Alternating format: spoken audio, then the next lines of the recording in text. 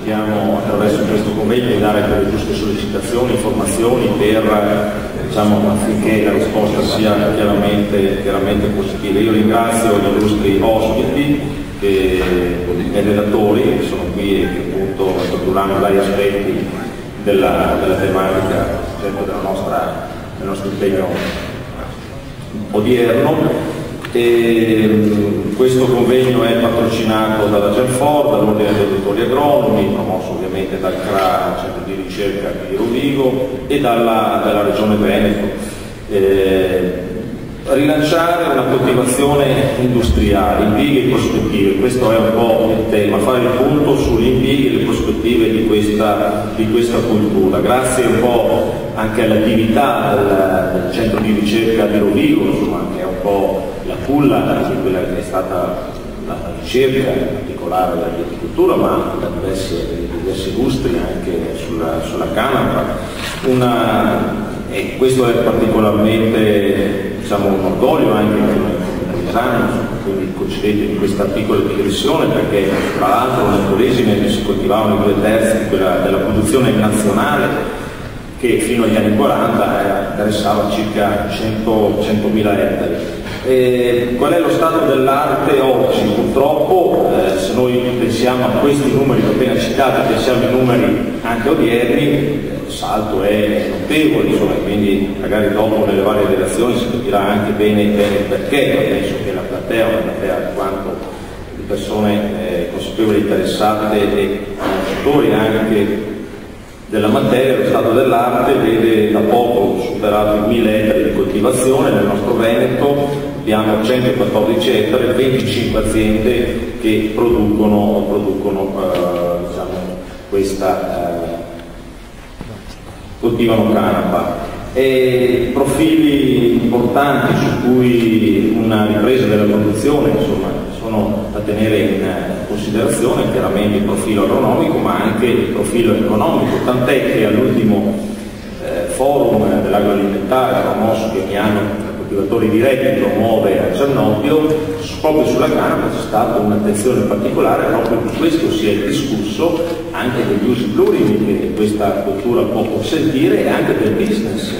parole che può fornire e favorire alle aziende agricole. Ecco, questo è diciamo, con sorpresa anche dei media presenti e che non hanno notizia diciamo, di, questo, di questo avvenimento, di questa attenzione dei coltivatori diretti, si è andati molto oltre, quindi anche per la coltivazione, anche per la cosa che peraltro è circoscritta ed è regolamentata da precise normative per quanto riguarda la cannabis in uso terapeutico. Per cui ecco, diciamo che l'attenzione è molto, è molto alta e questo convegno sicuramente indicherà e ci fornirà tutta una serie di indicazioni che possono da questo punto di vista eh, indicare delle prospettive molto concrete. Inizierei dicendo che in generale è difficile parlare di canapa. Sembra strano, ma vi do tre ragioni per cui è difficile parlare di canapa. La prima è che è un argomento polarizzato. Polarizzato vuol dire che è un argomento che divide l'opinione pubblica, un po' come il divorzio, l'aborto, c'è chi è favorevole, chi è contrario. Questa polarizzazione non è soltanto a livello individuale ma anche a livello collettivo. La canapa è un argomento politicizzato, ci sono dei gruppi di persone che per partito preso sono pro canapa oppure anti canapa, anche se non si sono mai interessati della canapa. Ma penso che in generale l'argomento, la ragione più difficile per cui è difficile parlare di canapa è che la canapa è un argomento mediatizzato, cioè se ne parla e se ne scrive troppo però purtroppo se ne parla e si descrive troppo da persone che non hanno alcuna esperienza diretta nel campo, cioè il più delle volte vanno su internet e ricordiamoci che internet è fondamentalmente analfabeta, il ranking dei siti non è in base all'attendibilità, è in base alla popolarità. Eh, la settimana scorsa ho provato ad andare su Google a scrivere cannabissativa, il primo riferimento che mi è venuto fa riferimento a questa rivista che penso sia una rivista ironica sulla stampa, si chiama La Zampa,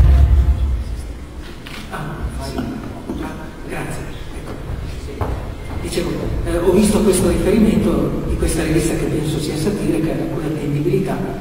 parla da sola. Diciamo due parole di introduzione sulla canapa, che non è una pianta nostrana, è una pianta di origine asiatica, dall'Asia centrale, quello che oggi è il Kazakistan, è una pianta che è, andata, è cresciuta, è nata di pari passo con l'agricoltura, una delle prime piante che sono state coltivate, questo perché una pianta supermercato serve per molte cose. La canapa è una pianta di cui normalmente si parla singolare, ma si dovrebbe parlare al plurale, perché come esistono tanti peperoncini, così di forma diversa e anche di proprietà diverse, ci sono quelli piccanti e quelli non, non piccanti, così esistono tante forme di canapa morfologicamente diverse, alcune sono psicotrope, altre no. Ricordiamo che le proprietà psicotrope della canapa sono dovute soltanto a uno dei più di 150 cannabinoidi che fa. Eh, io cercherò di parlare anche per i miei campi di competenza, soltanto delle proprietà nutrizionali, o meglio del potenziale nutrizionale e del potenziale salutistico e farmaceutico della canapa. Prima di fare questo è opportuno introdurre quello che è l'albero genealogico dei cannabinoidi e parlare di canapa senza parlare di cannabinoidi è un po' come parlare di Mozart senza citare la musica oppure parlare di ristoranti senza parlare di cibo. E, eh, Diciamo che il papà di tutti i cannabinoidi è noto con l'abbreviazione di CBG.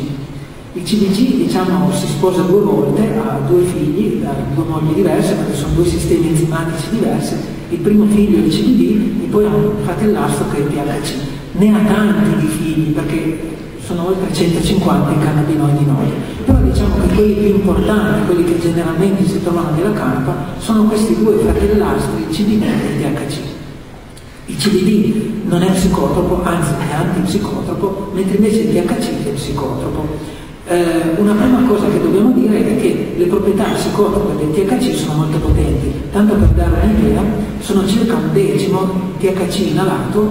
eh, ha proprietà psicotrope a un decimo delle proprietà psicotrope dell'eroina iniettata endovena. Diciamo che la dose psicotropa dell'eroina endovena è su 80 mg, la dose psicotropa del THC è tra i 3 e i 5 mg.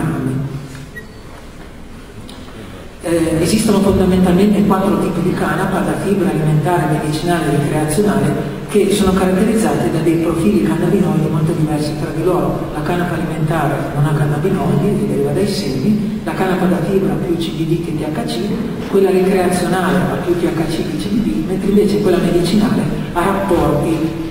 diversi ma contiene sia THC che CBD. Allora, cominciamo con la canapa alimentare. Eh,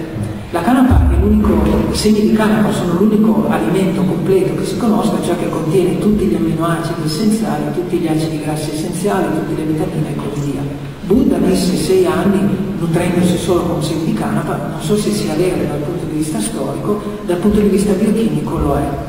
La, cosa, la caratteristica più importante del semi di canapa è il rapporto tra gli acidi essenziali e insaturi. Esistono due classi di acidi essenziali, cioè di acidi grassi che noi non possiamo farci, che dobbiamo assumere dall'ambiente, che sono noti come omega 3 e omega 6.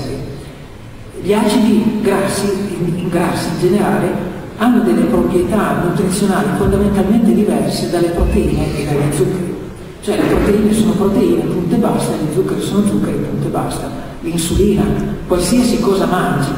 che io prenda le proteine, non so di origine animale o vegetale, la struttura dell'insulina è sempre la stessa, la struttura del glicogeno è sempre la stessa e così via. Invece per gli lipidi questo è molto diverso. E vi do un esempio, eh, diciamo, di proprietà funzionali, sia che io mangi più omega 3 o omega 6, visivamente non me ne accorgo. Ecco, eh, però quest'idea della vicarianza, vi cito un caso che può sembrare abbastanza strano, che fa riferimento a uno dei tanti esperimenti strani fatti nella seconda guerra mondiale, cioè l'induzione della visione infrarossa per via dietetica. Cioè eh, alcuni animali vedono l'infrarosso, cosa vuol dire? Che di notte, perché è importante vedere l'infrarosso in guerra? Perché di notte io, dato che emettiamo calore, vedo, vedo delle persone, vedo le case, vedo una cosa di questo genere. Allora, durante la seconda guerra mondiale gli Stati Uniti hanno preso un centinaio di, eh, di marinai, li hanno tenuti per parecchi mesi a una dieta in cui venivano esclusi rigorosamente tutti i carotenoidi. I carotenoidi sono i precursori del, del, del, nostro pigmento visivo, il pigmento visivo degli animali che vedono all'infrarosso un doppio legame in. Per cui hanno nutrito per dei mesi questi marinai con questi eh, essenzialmente prodotti ittici che contenevano questa versione del pigmento visivo con il doppio legame in più. Ecco, eh, poi tutto è cessato perché hanno inventato gli occhiali all'infrarosso, però proprio l'anno scorso un gruppo americano ha provato a rifare questo esperimento ed effettivamente escludendo rigorosamente i carotenoidi dalla dieta, alimentando le persone con questi lipidi di origine marina, hanno poi registrato delle risposte retiniche all'infrarossa, adesso non so se vedessero proprio così, questo vi dà un'idea di come noi abbiamo una composizione chimica diversa a seconda dei grassi che mangiamo. La differenza fondamentale tra gli acidi grassi omega 3 e l'omega 6 è quella che dopo che tutti e due sono stati allungati di due atomi di carbonio e sono stati messi dei doppi legami, vengono trasformati nelle prostaglandine. Però le prostaglandine che derivano dagli omega 6 sono prostaglandine infiammatorie, quelle che derivano dagli omega 3 sono antinfiammatorie. Per cui se andiamo a vedere cosa si mangiava una volta, una volta la filiera alimentare dipendeva dal prato, dal prato perché o ci coltivavano delle piante oppure perché ci pascolavano degli animali. Gli omega 3 sono gli acidi grassi più diffusi in natura, tutte le piante fotosintetiche e i tessuti verdi contengono omega 3, per cui sembra paradossale che oggi abbiamo pochi omega 3. Una volta tutto derivava dal prato, per cui il rapporto nella dieta umana tra omega 3 e omega 6 era di 6 a 4 per gli omega 6. Oggi invece è un rapporto in cui tutto deriva praticamente dai semi di soia e dai semi di mais, che invece sono ricchi di omega 6, il rapporto è diventato 15-20 a 1, ma addirittura negli Stati Uniti di 40 a 1. Questo cosa vuol dire? Che la dieta è infiammatoria. Cioè la dieta, quella che viene chiamata la dieta occidentale, è fondamentalmente infiammatoria perché ci porta ad avere nel nostro organismo più acidi omega 6 rispetto all'omega 3. Allora la canapa è molto importante perché contiene quello che per l'Organizzazione Mondiale della Sanità è il rapporto ideale fra acidi grassi omega 3 e omega 6, cioè circa 3 a 1. La canapa, diversamente da altre fonti di omega 3, che queste sono sbilanciate, hanno troppi omega 3, come ad esempio l'olio di lino, ha anche un sapore gradevole, da cui sono successi nei prodotti alimentari. Adesso due parole sulla canapa breve, di introduzione sulla canapa medicinale. La canapa medicinale arriva in Europa nella seconda metà dell'Ottocento via Libia. È sconosciuta in Europa, la canapa coltivata in Europa è canapa da fibra, la canapa da fibra eh, sa che è alta, viene utilizzata per altri scopi, per cui esiste scarsa documentazione di utilizzo medicinale della canapa in Europa. Però gli inglesi vanno in India, in India la canapa è usata come pianta medicinale, per cui introducono l'utilizzo in Europa. Allora vediamo eh, nei paesi di origine, essenzialmente la Cina, poi dalla Cina si è diffusa all'India, per cosa viene usata la canapa dal punto di vista medicinale. Viene usata innanzitutto in dermatologia, la lepra e questo vedremo che uno dei recettori dei cannabinoidi, il CD2, è essenziale per la salute della pelle. Senza il CD2 la pelle degrada, si degrada. La dermatite atopica, tutte queste malattie sono malattie da disfunzione del sistema endocannabinoide. Viene usata poi per l'infiammazione, viene usata in ostetrice per i dolori da parto, di cui esistono delle precise documentazioni archeologiche anche in Medio Oriente, viene usata come antimedico per la bronchite e l'asma. Adesso, dicevo che eh, non è chiaro se gli utilizzi medicinali della canapa ci siano anche nella, nelle civiltà mediterranee, secondo alcuni nella Bibbia ci sarebbero più di 50 citazioni, ci sono delle incertezze semantiche. Però quello che è chiaro è che la canapa viene usata, e questo è un, è un uh, ritrovamento archeologico in Palestina nel primo secolo d.C., una ragazza si pensa sui 17 anni che è morto di parto e vicino alla tomba hanno trovato una pietra con tanti eh, residui di pianta che erano canapa, cioè come anestetico cosa facevano? Scaldavano una pietra, buttavano della canapa sopra e poi le persone inalavano i vapori. Adesso vediamo quali sono i principali impieghi eh, medici della canapa prima del proibizionismo. Dunque innanzitutto la canapa è una pianta medicinale molto diffusa. Il paziente più famoso è la regina Vittoria per la dismenorrea stata curata tutta, per tutta la sua vita fertile per dismenorrea con la canapa. Poi vediamo anche il ruolo che ha. William Osler è stato il medico clinico più famoso di tutti i tempi, ha scritto il trattato medico fondamentale della medicina clinica e Osler considerava la canapa, questa è essenzialmente canapa, diciamo la vecchia marijuana, canapa THC e CBD, prevale il THC, come il farmaco di elezione per il trattamento e la prevenzione dell'epilessia. Poi arriva il proibizionismo, notiamo che il proibizionismo viene approvato negli Stati Uniti contro eh, l'opinione della, della, classe medica del, e eh, la cosa strana è che gli utilizzi moderni della canapa in medicina derivano tutti da un processo che potremmo chiamare farmacologia inversa. Cioè normalmente i farmaci nascono in laboratorio, un chimico fa la sintesi, qualcuno lo prova su una proteina, su un canale ionico, poi si passa a una cellula, dalla cellula al modello annuale, poi viene si va all'uomo. Invece gli utilizzi moderni della canapa nascono per uso aneddotico. Normalmente molte volte si dice una cosa aneddotica, priva di importanza, però vediamo il primo utilizzo medico ufficiale, nausea e vomito da chemioterapia. Nasce per una cosa aneddotica, il figlio di un medico di Harvard al cancro fa la chemioterapia e dice al papà guarda quando io fumo la marijuana sto meglio. Il papà è una persona importante per cui nascono gli studi clinici. Glaucoma. Ecco, il glaucoma non è assolutamente un'indicazione della canapa, anche se paradossalmente, nel senso che abbiamo dei farmaci che vanno meglio, però esistono alcuni tipi di glaucoma che rispondono solo alla canapa. Eh, alcune sostanze psicotrope alterano il diametro della pupilla, ad esempio gli oppiati, una pupilla puntiforme, per cui il Ministero, eh, il Dipartimento di Polizia di Los Angeles commissiona al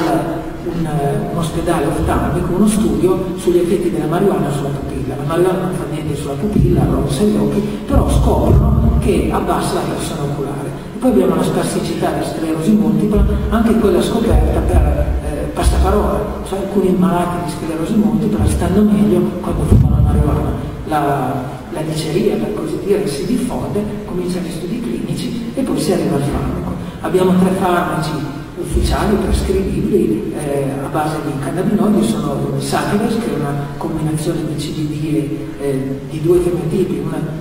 psicotropa, l'altro non psicotropa per la sclerosi multipla, e poi abbiamo due farmaci di ospedaliero che sono basati invece per eh, la nausea da chemioterapia oppure la capissia di malati terminali da HIV oppure oncologici. Diciamo che i cannabinoidi puri non hanno mai avuto un grande successo e questo perché la compliance è molto bassa, nel senso che il THC è una sostanza ansiolitica da ansia psicotropa. Immaginate che un malato terminale l'ultima cosa che vuole fare è già ansioso di per sé, non ha bisogno di un'ansia. Per cui sono stati fondamentalmente un flop sia il dronabinolo che il cannabinoide. Mentre il Satides, che è una miscela di cannabinoidi, invece ha un successo commerciale e nella classe medica maggiore. Adesso eh, c'è un film di Woody che si chiama Il Dormiglione, capita una cosa strana, vediamo cosa è successo nella camera. La trama del Dormiglione, grosso modo, è così, eh, il protagonista viene ibernato, viene svegliato dopo 200 anni, va da McDonald's e vede questo, il numero di avogati dei panini che abbiamo venduto, e poi trova la pubblicità in giro dove dice fumate perché fumare fa bene, mangiate tanti grassi che fa bene alla salute. Cioè le indicazioni salutistiche sono completamente cambiate. Lo stesso capita per la canapa. Se vediamo fino a una decina, una ventina di anni fa, diciamo, la canapa veniva demonizzata, c'è un film di John Wayne, marijuana, e così via. Cioè,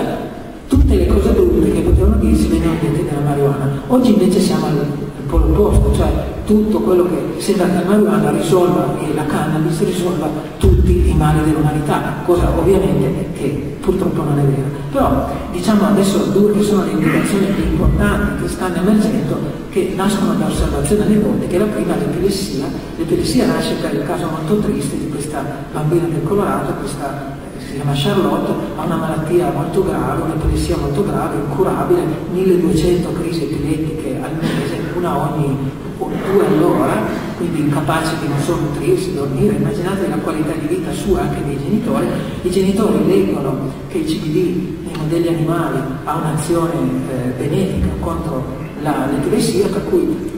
prendono della canapa da fibra che eh, si fanno arrivare dal Canada e eh, perché in America è proibita anche la coltivazione della canapa da fibra, fanno, lo mettono nell'olio, fanno un, olio, quello che viene chiamato olio di Charlotte, cominciano a darglielo per bocca e avviene un miracolo. Questa bambina attualmente ha due crisi epilettiche al mese e oltretutto anche notturne e diurne. Allora la notizia si diffonde, comincia una sperimentazione clinica ufficiale sul CBD pulito, puro. La settimana scorsa sono stati dati, anticipati i dati ad interim, cioè a metà dello studio, e praticamente eh, hanno preso circa 150 malati epilettici incurabili, cioè che rispondevano molto male ai farmaci, e diciamo che la canapa ha avuto un'azione importante, cioè il numero delle crisi epilettiche diminuito nella metà. Però allo stesso tempo, qui purtroppo è difficile dosare i cannabinoidi, in alcune persone invece i cannabinoidi aggravano l'epilessia, per cui non è chiaro nelle epilessie infantili generalmente c'è un effetto benefico, però in alcune epilessie adulte i cannabinoidi aggravano la patologia. Poi un altro caso molto discusso è questo di Stefani Larù, questa è una ragazza a cui a 30 anni viene diagnosticato, quando sto per finire, Paolo, se siamo, siamo messi. Ah. Ecco, ancora due minuti, sì, allora diciamo, questa Stefania ha 30 anni, viene diagnosticato un tumore al seno di fase 4, dico guarda lei ha pochi mesi di vita, questo è un caso molto strano perché eh, lei fa, eh, subisce doppia mastectomia, fa la radioterapia, la chemioterapia, vive, vive ancora 8 anni, ha delle ricadute e così via, però a 8 anni dicono guarda questa è l'ultima ricaduta, ormai ha poco da fare. Allora lei non si dà tranquillità e comincia a sperimentare, prende eh, la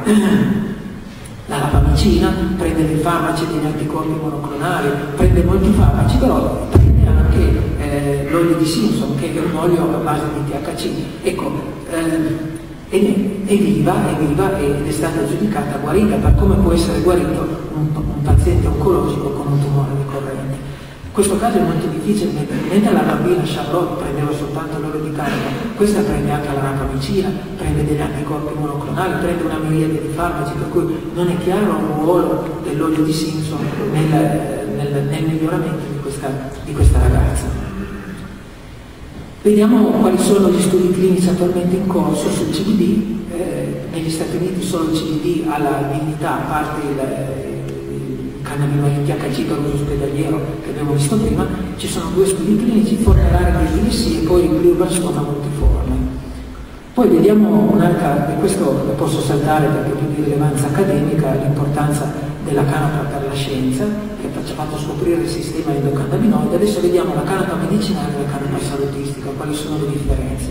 La canapa medicinale basata su THC e CBD, ha delle indicazioni ben precise di patologie acute specifiche, la sclerosi multipla, alcuni tipi di ipolessia, il supporto in care oncologico. La via di somministrazione è sovente non quella orale, sublinguale oppure inalatoria. Esiste poi un enorme campo da esplorare che è quello della canapa salutistica. La canapa salutistica è basata su miscele di cannabinoidi e altri costituenti della canapa e serve per indicazioni croniche. Croniche, eh, quella che viene basata alla modulazione del sistema endocannabinoide. Ci sono molte malattie della patologia non ben diffuse, tutto quello che si dice è una malattia psicosomatica. La medicina non sa trattare dicendo guarda è colpa sua, lei è una malattia psicosomatica. Oggigiorno si tende a considerare tutte queste patologie psicosomatiche come delle disfunzioni del sistema endocannabinoide.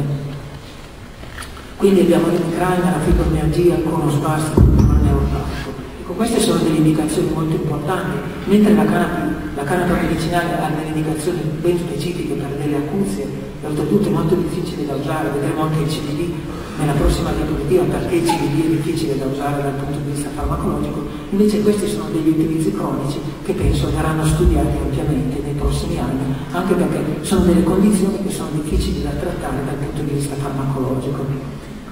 Adesso eh, dicevo la canapa salutistica, mentre eh, la canapa medicinale è una sonata solistica, cioè o solo THC o solo CBD, quindi invece la canapa salutistica è una sinfonia, non è una sonata solistica, non è il chiaro di luna, ma è una sinfonia, cioè è basata su una miriade di composti, su un buche di composti. Eh, Dicevo, una delle difficoltà nel, nell'utilizzo medico del CBD è che il CBD non ha delle relazioni chiare fra concentrazione ed effetto. Cioè, pensiamo ad esempio a un veleno. Più do di veleno, più il, la, la sostanza è tossica.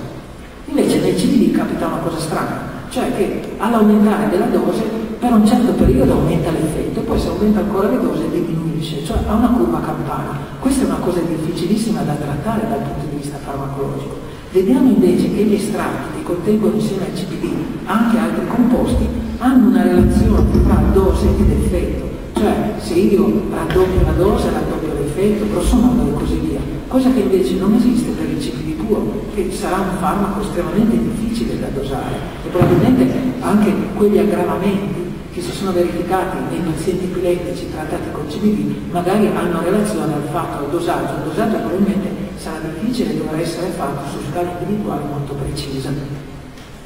Sì, professore, un minuto. Eh. Un minuto. Ecco, un ultimo composto interessante è il composto volatile che c'è nella canapa, il beta-carotene. Il beta-carotene è un enigma dal punto di vista chimico. Io mi sono messo a studiare una cosa stranissima. Un idrocarburo, gli idrocarburi sono composti non attaccatici, hanno difficoltà ad attaccarsi alle, alle, proteine, in generale a interagire con le proteine, però è un agonista selettivo del recettore di tipo 2 del cannabinoide. quello che c'è nel sistema immunitario e quello che c'è sulla pelle. Questo è un composto interessante, notiamo che i cani eh, addestrati per riconoscere la canapa riconoscono l'odore del cariofillene ossido, il quale non è riconosciuto, è un composto inodore per l'uomo, però è il composto che cani riconoscono per la canapa. Eh, è molto difficile parlare di tossicità della canapa, quindi due parole sulla canapa ricreazionale. La canapa ricreazionale è molto diversa dalla canapa dell'ips, dalla marijuana di una volta. E vi faccio un esempio, eh, il caffè. Il caffè contiene, ha una concentrazione di caffeina molto diversa da quella del THC nella marijuana degli IPS, di gusto di una volta. L'assorbimento della caffeina dal caffè viene ritardato dai tannini. Per cui se io prendo la stessa quantità di caffeina, supponiamo una compressa da 100 mg di caffeina, oppure mi bevo due, eh,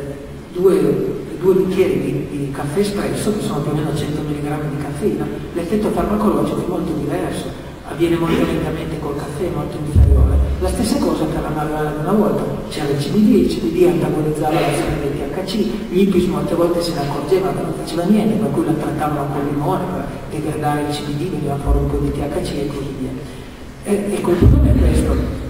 Supponiamo di avere un caffè in cui hanno tolto i tannini e quindi il caffè rimane praticamente un veicolo per l'assorbimento della caffeina, è aumentato di 10 volte la quantità della caffeina. La marijuana di adesso rispetto alla marijuana di una volta è come questo caffè, uno dice ma lo chiamerei ancora caffè, discuterei della tossicità del caffè facendo riferimento a quel caffè, per cui sono due cose completamente diverse. Abbiamo poi la piaga dei cannabinoidi di sintesi, questa è proprio una cosa indecorosa, purtroppo sono composti molto facili da sintetizzare, uno se li fa in cantina, sono fondamentalmente diversi dai cannabinoidi. I cannabinoidi sono degli agenti benigni, cioè sono degli agonisti parziali, vuol dire che non, non danno mai le risposte complete, questi sono degli agonisti puri, eh, toccano anche altri sistemi biologici. Professore, scusi, devo togliere la parola, se no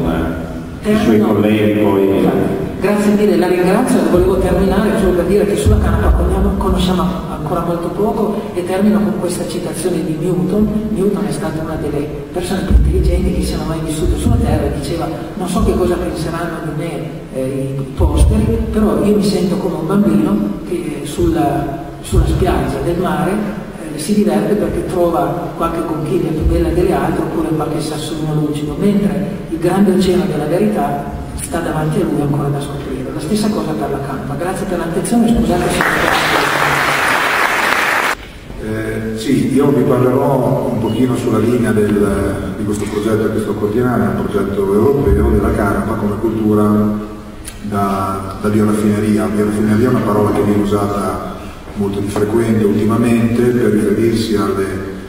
alle culture da biomassa, alle, diciamo, alla, alla bioeconomia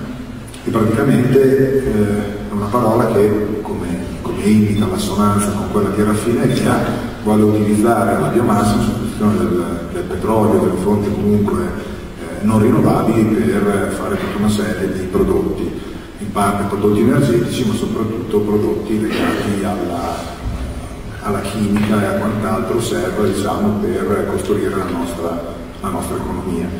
E quindi in questa presentazione farò vedere un po' di diciamo, di esempi eh, e come riuscire a uh, utilizzare la canapa per uh, alimentare la bioraffineria del futuro. La mia convinzione è il fatto che la canapa già di per sé stessa come pianta sia una bioraffineria. Tipicamente la bioraffineria come è interpretata mh, oggi eh, anche dalla politica europea eh, parte da una biomassa abbastanza indifferenziata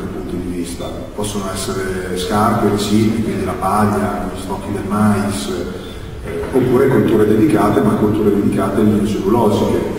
panico, miscanto, arundo eh, o anche colture eh, arboree, che poi vengono frazionate, un po' come si fa col petrolio, per poi ottenere dei, delle materie prime, dei building blocks, come vengono chiamati, con i quali puoi costruire degli altri, degli altri, prodotti, degli altri materiali. La canapa invece già di per sé stessa ha questa capacità diciamo, di avere in sé stessa ad esempio le fibre, ma anche gli oli, oppure abbiamo visto grazie all'esauriente eh, presentazione del professor Appendino anche tutta una serie di composti chimici che possono avere un grande interesse anche da un punto di vista farmaceutico, quindi una cultura veramente completa. Ok, questo è solamente per dire che è un progetto abbastanza ampio, come vedete anche come finanziamenti, terminerà nel 2017, sono coinvolti numerosi partner europei, ma è anche coinvolta la Cina, la comunità europea sta molto spingendo perché si aprono sempre di più delle collaborazioni con, con i ricercatori cinesi e l'obiettivo generale, vedete, è quello di sviluppare la ricerca che serve e anche le tecnologie per diciamo, consolidare quello che è il mercato attuale della canapa, ma anche per spingere potenziali nuove applicazioni. È un progetto essenzialmente di ricerca, è un progetto anche molto biotecnologico perché veniva finanziato da una parte diciamo, della ricerca della europea legata alle biotecnologie, quindi era un'occasione anche per creare eh, nuove varietà. La canapa, come sappiamo, tutti quelli che di voi sono interessati a fare canapa, sappiamo che oggi la maggior parte delle varietà viene dalla Francia, perché la Francia ha mantenuto negli anni una produzione di canapa che ha permesso di avere varietà moderne abbastanza affidabili e poi ci sono un po' altre varietà in giro per l'Europa, ma quelle italiane in buona sostanza sono, sono scomparse o non, sono, diciamo, più, non è più attuale o possibile la loro coltivazione. Quindi è questo anche un modo per diciamo, dare la, possibilità alla canapa di avere degli strumenti moderni per l'attività di miglioramento genetico. Quindi per quanto riguarda gli usi, scusate una slide non riuscivo a modificare metterla in italiano, comunque molto brevemente la canapa è una cultura appunto multiuso che fa appunto di lei, come dicevo, una cultura da bioraffineria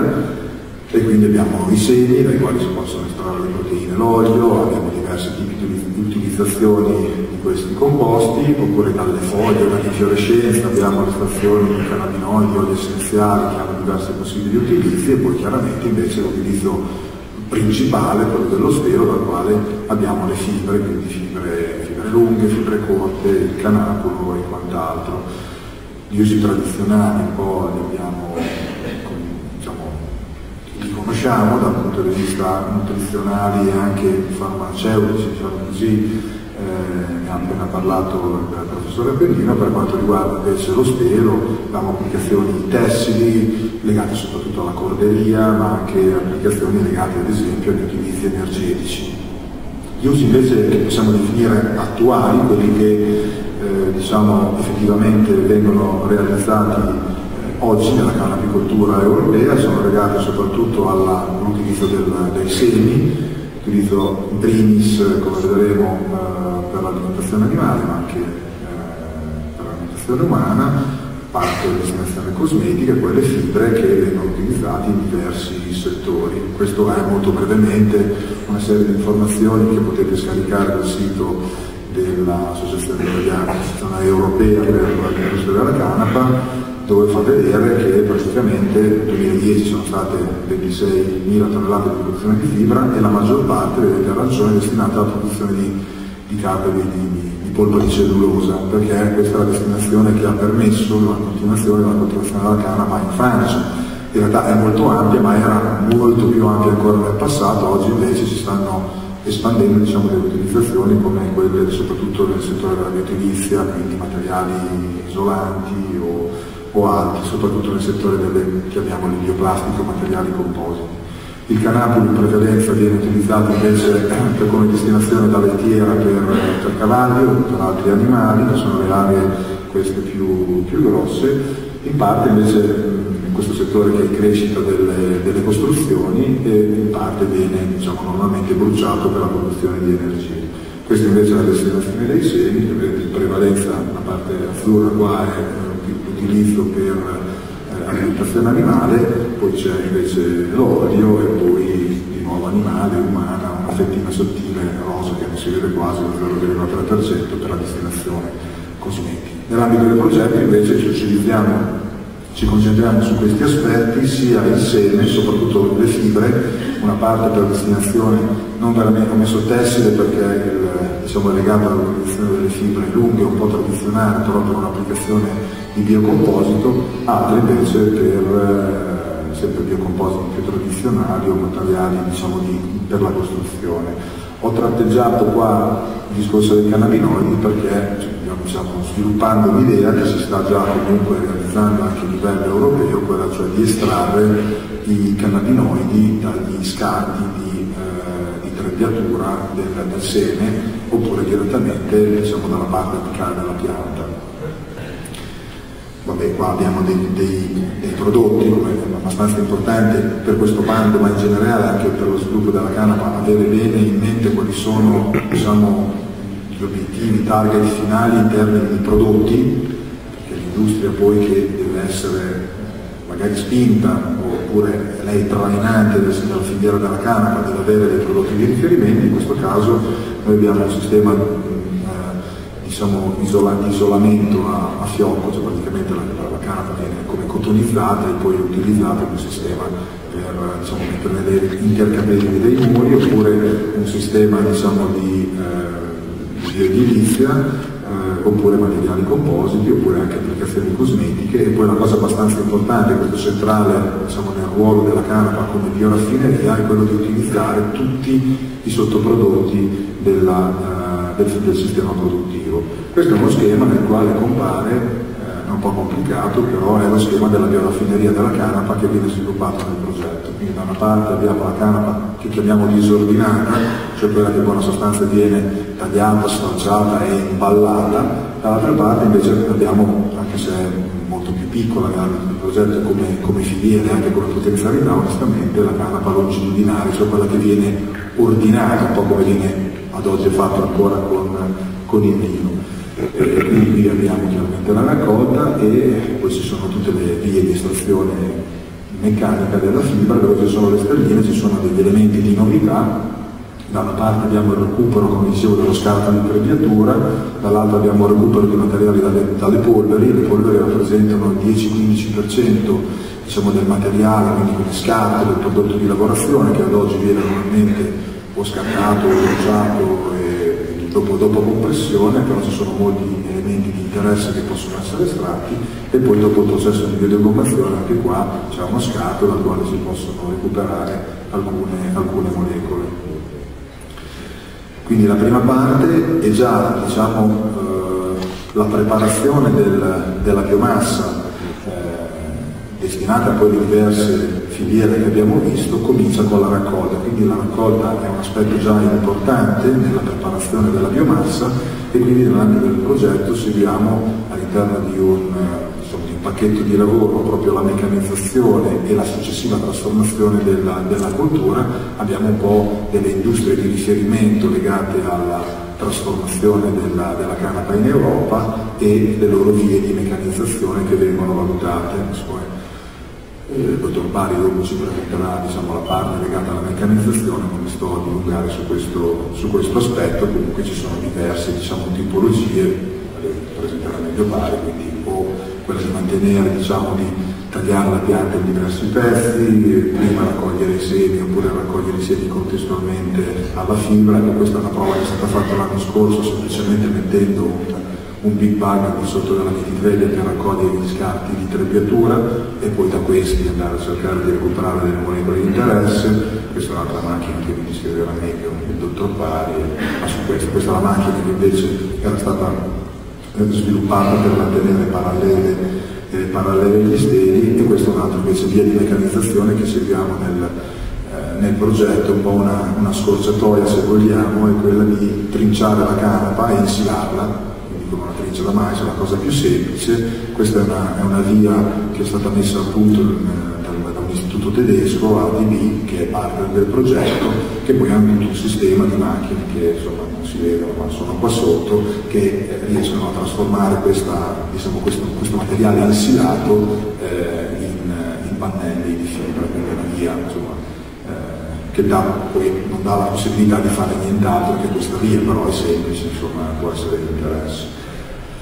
Eh, nella parte sotto niente, abbiamo tutta la parte di trasformazione, poi i prodotti finiti, chiaramente, cioè prodotti finiti, le prime che otteniamo sono fibra corta, il canapulo, una fibra mista, un po' il sistema dei tedeschi, cioè che il canapulo e la fibra vengono messi insieme e poi la fibra, la fibra lunga. Eh, come qualche esempio, tempo però per darvi un po' qualche esempio di quello che stiamo facendo da un punto di vista invece scientifico sulla parte diciamo, della, della, pianta, quindi eh, nella comprensione di come funziona la pianta e di come, in base alla conoscenza anche dei geni che regolano i diversi processi della pianta, possiamo avere degli strumenti per operare poi un miglioramento genetico sulla cultura. E quindi abbiamo diciamo, i primi due pacchetti di lavoro del progetto che si occupano proprio di genetica. Quindi il primo è un approccio di genetica che viene detto al contrario, reverse genetics, perché parte dalla conoscenza di quali sono i geni che sono coinvolti in processi interessanti per diciamo, le caratteristiche qualitative della cultura. Quindi lavoriamo in particolare sulla lignificazione, sulla presenza di emicellulose, sulle presenze di pectine, quindi le pectine sono quelle che tengono unite le fibre. Quindi nei processi che avete visto prima la fibra viene praticamente decorticata, stigliata, cioè bisogna separare la fibra dal caracolo. Questo è tanto più semplice quanto meno adesive, diciamo così, sono le pectine che sono quelle sostanze che tengono unite le fibre. Quindi, così come la lignina, ad esempio, è quella che in parte unisce le fibre, in parte le rende più rigide. Quindi adesso i partner inglesi che hanno questa piattaforma abbastanza complessa abbastanza avanzata dal punto di vista biotecnologico hanno eh, diciamo, trovato dei, eh, dei mutanti per geni specifici e quindi adesso li portiamo all'interno di varietà di canapa e vediamo quale effetto che hanno. Tipicamente in questa operazione viene fatto un OGM, no? dico questo è un po' provocatorio perché so che spesso nella, in questa un pochino eh, contrapposizione quel fili bellini che abbiamo in Italia, bianchi e neri, che ha indicato prima il professor Cosentino, tipicamente chi sostiene la canapa è contro gli OGM. Posso rassicurare dicendo che la canapa è una di quelle culture che eh, difficilmente viene ingegnerizzata, cioè proprio è, non ci si riesce, è difficilissimo. E quindi una volta trovato questo mutante dobbiamo fare degli incroci per introgradirlo all'interno di una varietà tradizionale e poi dopo valuteremo questi aspetti. Invece un altro, un altro approccio eh, più tradizionale, se vogliamo, è quello di, abbiamo fatto una prova nel 2003 che vedeva coinvolto anche Grassi, qua c'era una prova qui, poi se ne in Francia e in Olanda con oltre 100-124 linee per la precisione di canapa che venivano soprattutto dall'Europa, come vedete qui, ma anche da, da, dall'est e poi qualcuna anche dalla Cina. Abbiamo fatto un, un test insomma, particolare per cui abbiamo trovato tutte queste varietà e stiamo cercando di misurare tutto dal punto di vista della, eh, dal punto di vista della crescita, quindi il tempo di emergenza, la crescita, la produzione, quando fiorisce eh, il diametro degli steli, la produzione, quanto diciamo, i cannabinoidi, la composizione della, della cellula, quindi lignina, di cellulosa, eccetera, e poi anche la qualità. E questo è particolarmente difficile, anzi nell'ambito del progetto abbiamo sviluppato un sistema per riuscire ad analizzare velocemente la qualità della fibra, perché purtroppo sistemi per misurare la qualità della fibra sono abbastanza lenti e complicati e quindi poco adatti diciamo, alla caratterizzazione delle migliaia di campioni che avevamo nell'ambito di questo progetto. Vi faccio solamente un esempio per concludere, eh, per, per, capire l'importanza diciamo, di questo lavoro e anche delle potenzialità. In buona sostanza prendo come esempio il momento di fioritura. Quindi in questo grafico sono riportati i risultati della eh, data di fioritura dei diversi di questi 124 genotipi in questi eh, tre ambienti, quindi la linea blu è Rovigo, poi abbiamo invece la linea rossa che sono i francesi e questa verde sopra i puntini verdi che invece sono relativi all'Olanda. Quindi già si vede che da noi le varietà fioriscono, perché qua diciamo, eh, abbiamo le, le, diverse varietà qui sotto e qui invece abbiamo il, il tempo termico, diciamo, cioè il tempo necessario per arrivare alla fioritura. Quindi già vediamo che ci sono delle varietà che sono fiorite praticamente immediatamente, in, in poche settimane, 3-4 settimane erano già fiorite, basse, altre invece addirittura che non sono fiorite come sono queste qua in alto. Tendenzialmente tutto fiorisce prima in Italia rispetto ai paesi, cioè Francia intermedio e l'Olanda è stata, è stata la più tardiva. Perché? Perché la canapa è sensibile al fotoperiodo e di conseguenza è a giorno, cultura a giorno corto, quindi dove il giorno è più corto, come in Italia rispetto se in Olanda di Stato, abbiamo per esempio un parco che della Latvia, praticamente in Finlandia, le culture che da noi fioriscono subito invece là diventano alte. No? Quindi visto che come dicevo prima, eh, voi lo sapete, le varietà che sono disponibili oggi eh, affidabili sul mercato in buona quantità, con buone caratteristiche, sono quelle francesi, la Francia è più al nord rispetto all'Italia e di conseguenza le produzioni sono più basse. Quindi questa per esempio l'anno scorso la finola, magari tutti avete sentito parlare di finola, di questa varietà che ha una qualità del seme fantastica, la piantate da noi, questo è il risultato, eh. questa in piena fioritura, tre settimane dopo l'emergenza alta 20 cm, chiaramente non è assolutamente adatta ai nostri ambienti, questa è una, una prova solo per fare vedere che ritardando potenzialmente eh, diciamo, diversi genotipi, questi sono provati a presenza, tanto più è precoce il genotipo, tanto prima fiorisce e di conseguenza la produzione è più bassa, quindi vedete la produzione che aumenta,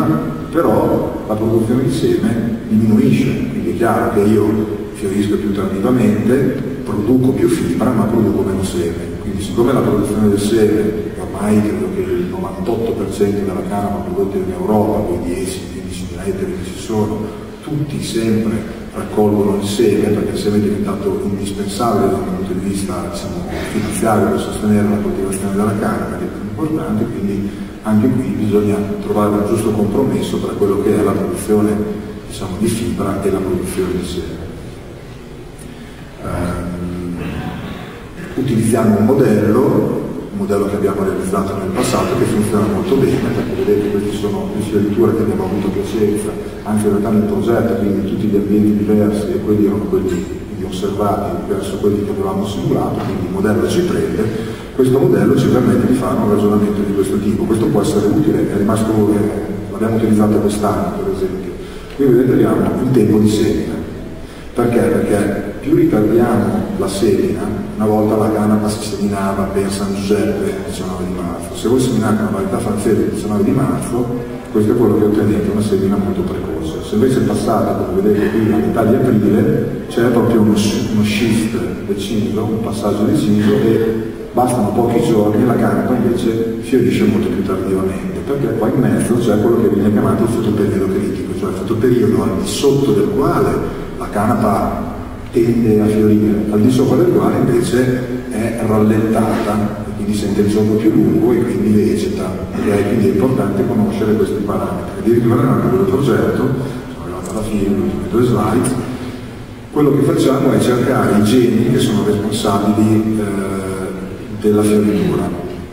e la loro particolare configurazione ci saprà dire se tardiva o, o meno tardiva quella varietà. Cioè, saremo in grado, è stato già fatto, di mettere in relazione nell'ambito del modello questa informazione genetica e quindi di prevedere in funzione proprio del tipo di gene, della, della, della configurazione genetica che avrà eh, queste diverse varietà, prevedere quando, quando, fiorisce. Questo è interessante perché per dire, non so, c'è qualcuno che è Sud Italia vuole coltivare la canapa e potrà sapere certa precisione, diciamo così, quando questa andrà a fiorire oppure quando conviene seminarla come ho fatto vedere prima. Questo, soprattutto in queste fasi può essere uno strumento abbastanza utile. Oppure utilizzare queste informazioni, utilizzare queste informazioni per eh, definire un modello di, di, pianta che vogliamo avere, un po' quello che stiamo cercando di fare con, con Giampaolo, quello dice di tornare ad avere delle varietà italiane che siano eh, adatte ai nostri ambienti fondamentalmente. Chiaro che oggi magari mi può andare benissimo una futura perché eh, la fibra non sappiamo bene ancora eh, cosa farsene sempre, diciamo così, diciamo, è più facile piazzare il seme sul mercato piuttosto che la fibra, quindi avere una varietà che introduce molto seme eh, va bene, però in un'ottica invece completa pianta che appunto è una, bio, una bioraffineria e che si mantiene è sostenibile dal punto di vista economico, avere una che fiorisce regolarmente in un certo, in un certo periodo, oppure combinare diverse varietà per cui diciamo, la raccolta è scalata, io riesco anche a gestirla meglio chiaramente in, in campagna. E quindi per concludere appunto vuol dire che la canapa è una un'ottima esemplare, anzi come cultura multiuso e che però per sviluppare scusate, bioraffineria basata sulla canapa deve ancora essere diciamo, un pochino sviluppata la sua eh, nuove varietà, quindi con queste conoscenze genetiche ma anche di agrotecnica e poi chiaramente se da, alla realizzazione e la trasformazione, quindi in questo sicuramente il progetto multi-ente che vi invito a visitare il sito che cerchiamo che, manteniamo aggiornato sta operando in questa, in questa direzione, avremo anche gli strumenti poi biotecnologici nel, nell'immediato futuro per poter lavorare bene anche a livello italiano. Vi ringrazio per l'attenzione. Iniziamo subito con i ringraziamenti, grazie a tutti di essere qua presenti, grazie soprattutto ai miei collaboratori, alle persone che lavorano al centro e voglio ringraziare in modo speciale il dottor Magagnini perché se le cose che vi posso far vedere eh, magari mi piaceranno anche, sono anche merito eh, suo, per cui inizio a farvi, vi illustro un po' in, in breve, estrema sintesi, perché vorrei essere anche ospitale nei confronti degli ospiti, per cui legare un po' del mio tempo a, a chi è intervenuto ed è venuto da tanto lontano e vi ringrazio eh, sentitamente perché eh, hanno contribuito proprio a far sì che questa giornata fosse interessante. Parto dalla cosa più banale, come è stata detta anche dal professor Maducci, impieghi. Io li vedo due tipi di impieghi, immediati e futuri. Per immediati sono quelli che sono stati detti, futuri e, e tengo a, a, segnalarlo purtroppo sono quelli del tessile perché sono abbastanza impegnativi da raggiungere questi, questi impieghi. La trasformazione industriale nel campo tessile eh, richiede investimenti importanti. Però prima di iniziare il discorso di come facciamo, come utilizziamo la canapa, bisogna fare una, purtroppo ancora adesso, dopo vent'anni dall'avvio del discorso sulla canapa, fare una precisazione che è ancora necessaria, soprattutto in questo territorio non so il perché, perché i casi in cui c'è stato qualche disputa o incidente tra le forze di controllo, di polizia e la Canapa non sono stati così frequenti, più in Emilia o in altre regioni. Però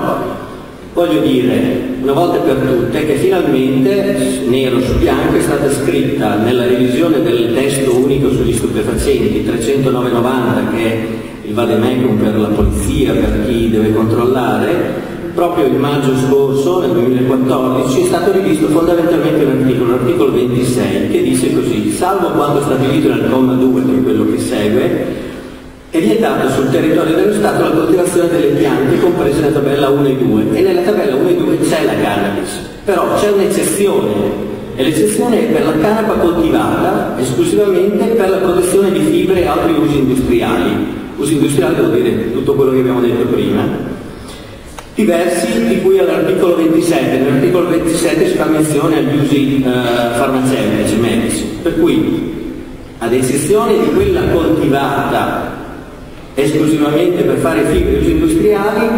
le altre cariche sono vietate. Questa è permessa e perché è consentita dalla normativa dell'Unione Europea, cioè non solo in Italia è consentita, in tutta Europa la canapa industriale si può coltivare, la distinzione è solo che questa pianta, questa varietà, non ha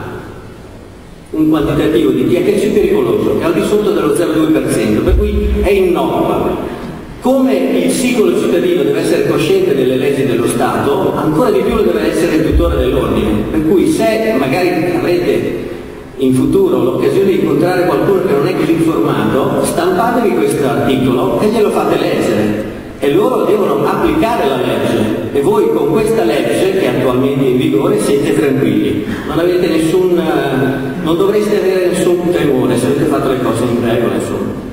Sono delle registrazioni della varietà e uso esclusivamente di varietà in un elenco eh, pubblicato in un elenco europeo. Quali sono divise per eh, provenienza, per nazione dove sono state registrate o eh, selezionate le varietà. Come vedete L'Italia ne ha 5 al momento, però nel riquadro innanzitutto in basso stanno per entrare altre 5.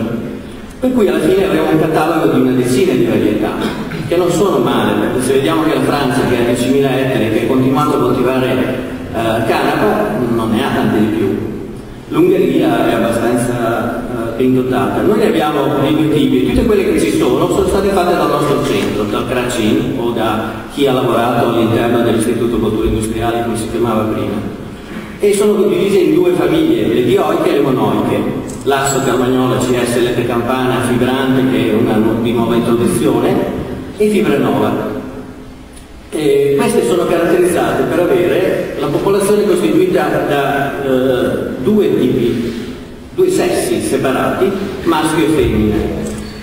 E la distinzione, la caratteristica fondamentale eh, di due, questi due sessi è che la, pianta femminile, la intravedete qua all'inizio, è ancora verde, sta maturando il seme, mentre di fianco si vede i bacchettini secchi che sono i maschi, perché una volta che loro hanno fecondato la pianta femminile muoiono, si seccano. Questo causa un problema di disomogeneità, perché il 50% degli individui ha un ciclo e l'altro ne ha un altro. E in una lavorazione industriale è fondamentale avere l'omogeneità del materiale, perché altrimenti ci sono dei problemi di regolazione, di incasamenti, tutto quello che ne consegue. Nelle monoiche invece gli individui sono tutti uguali, nel senso che hanno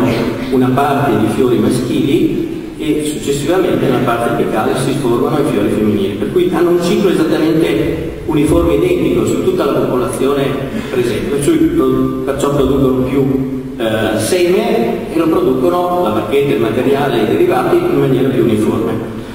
Quelli tradizionali di oggi li, ha, eh, sono, eh, siamo, li, abbiamo ereditati, li abbiamo conservati, li abbiamo solo aggiornati, cioè la carmagnola, la CS, la fibra nuova, quelli che hanno dato lustro alla, alla parte tessile alla rinnovata fibra che l'Italia riusciva a produrre. Anche l'eletta campana è una varietà che abbiamo recuperato e non abbiamo fatto altro che eliminare qualche individuo che all'interno della varietà conteneva un contenuto di THC, produceva un contenuto di THC leggermente superiore al limite richiesto dai regolamenti europei. Mentre le altre varietà eh, sono più recenti, le ha fatto il mio collega Mario Di Candelo che è andato in pensione.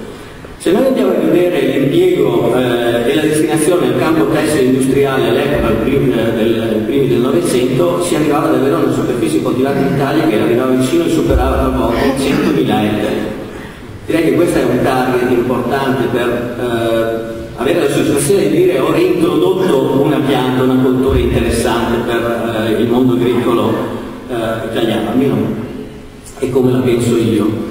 E però nonostante questo eh, noi eh, se abbiamo voluto ripetere per una prova europea, per un uh, progetto europeo che si chiama Armonia, la produzione della canapa, abbiamo dovuto operare come si lavorava ai primi del Novecento, con la macerazione in acqua e questo ha portato a dei costi stimati, perché poi non, siamo stati pagati sulla base del peso della fibra, ma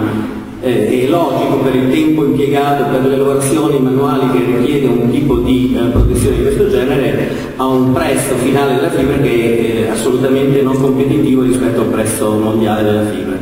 Però ci sono delle caratteristiche della canapa che non possiamo ignorare e rinunciare secondo me, tipo questa della capacità di competere con le infestanti e data la frequenza con cui abbiamo colture ripetute anno per anno come il mais in queste zone, abbiamo dei problemi di questo genere quando la superficie del terreno non è coperta da una coltura come la canapa che è così attiva nel, nel soffocare le infestanti. Questo è il risultato poi che si ha su una processione culturale, cioè nel campo di sinistra era stata coltivata l'anno prima canapa, quello di destra invece mais. E questo è il risultato non è un trucco scenico perché c'è una, uh, un albero qua che è proprio a fianco alla, alla, al campo lì vicino. Per cui uh, è evidente che oltretutto questa coltivazione sarà molto più produttiva e richiederà, cioè questa, ha richiesto sicuramente un minore impiego di eh, riservanti e di prodotti eh, o la concimazione viene sfruttata meglio. Il ciclo della canapa tessile è molto rapido, già a fine luglio si può tagliare e questa è una, una visualizzazione di come procede l'alternativa alla macerazione in acqua, cioè la macerazione a terra. Eh, questa striscia colorata al centro è stata messa a punto da un istituto di ricerca tedesco e sulla base della variazione del colore, che avviene progressivamente dal momento del taglio fino al momento del recupero del materiale, vedete che eh, dà un'indicazione e questa è l'indicazione del progresso, del, di come procede la macerazione e la macerazione in questo caso non è dovuta ai batteri che si formano nell'acqua, ma sono dei funghi che attaccano e agiscono allo stesso modo, sciolgono eh, i leganti, le sostanze che legano la fibra. Noi abbiamo già il campo liberato in questa annata eh,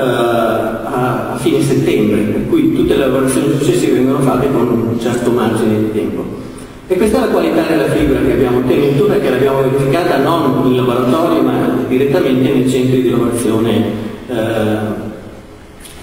esattamente nelle fabbriche, l'unica che ha operato tra il 2004 e il 2007 a Ferrara e poi sono dovuto andare in Repubblica Ceca perché da noi non ce ne sono altri centri. E perché questo è possibile? Perché abbiamo cambiato il tipo di varietà, cioè le varietà tradizionali sono di solito di questo colore verde intenso perché hanno eh, una quantità di sostanze, soprattutto che legano le fibre, molto alta, sono molto eh, robuste, sono molto eh, difficili da attaccare e da, ehm, da permettere la liberazione delle fibre nella corteccia dove è presente fibra che è il primo prodotto che ci interessa. Invece in quest'altra varietà di destra eh, c'è una caratteristica sua genetica per cui la, le sostanze che legano la fibra sono in concentrazione inferiore e molto più rapido e facile che gli, gli agenti esterni, batteri, enzimi e funghi eh, agiscano e liberino le, le, le fibre. Difatti alcuni colleghi avevano iniziato a tentare la macerazione a terra usando però le varietà che avevano a disposizione e a Torino, soprattutto all'Università di Torino aveva fatto questa esperienza, anche tenendo le bagnate con irrigazioni periodiche e tutto, ma non, non, ci riuscivano perché a contatto col terreno il materiale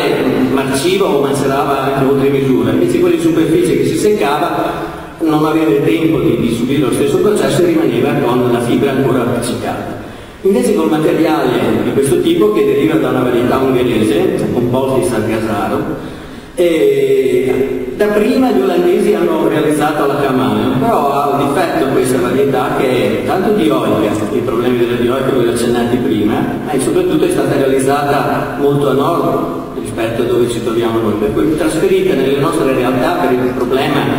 del fotoperiodo eh, si agisce precocemente. Per, per questa ragione allora abbiamo cercato di creare una varietà adatta al nostro ambiente con le stesse caratteristiche dal punto di vista di rapidità alla macerazione.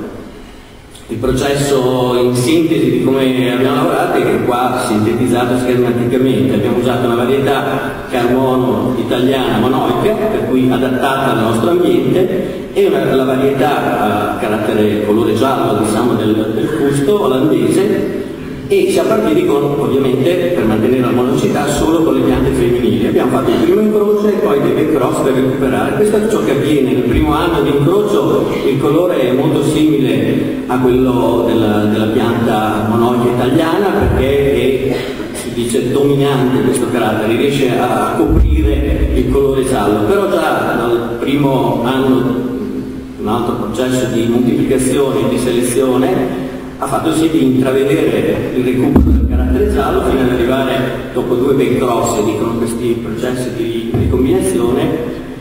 abbiamo finalmente ottenuto una varietà che era gialla, eh, monoica, uniforme e dal seme che abbiamo ottenuto eh, siamo poi eh, arrivati alla registrazione che è stata completata due anni fa e adesso è proposta e alcune aziende che sono interessate, qua abbiamo eh,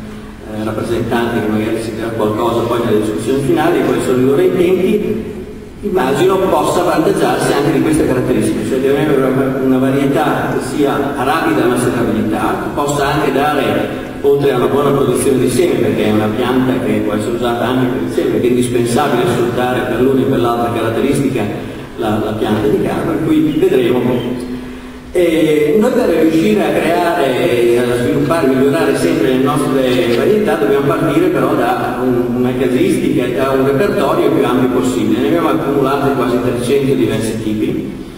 e eh, abbiamo fatto tutti gli anni delle prove, prima tutto di confronto, di isolate e moltiplicate in maniera individuale. Questo è lo spazio per la prima volta, da quando ci siamo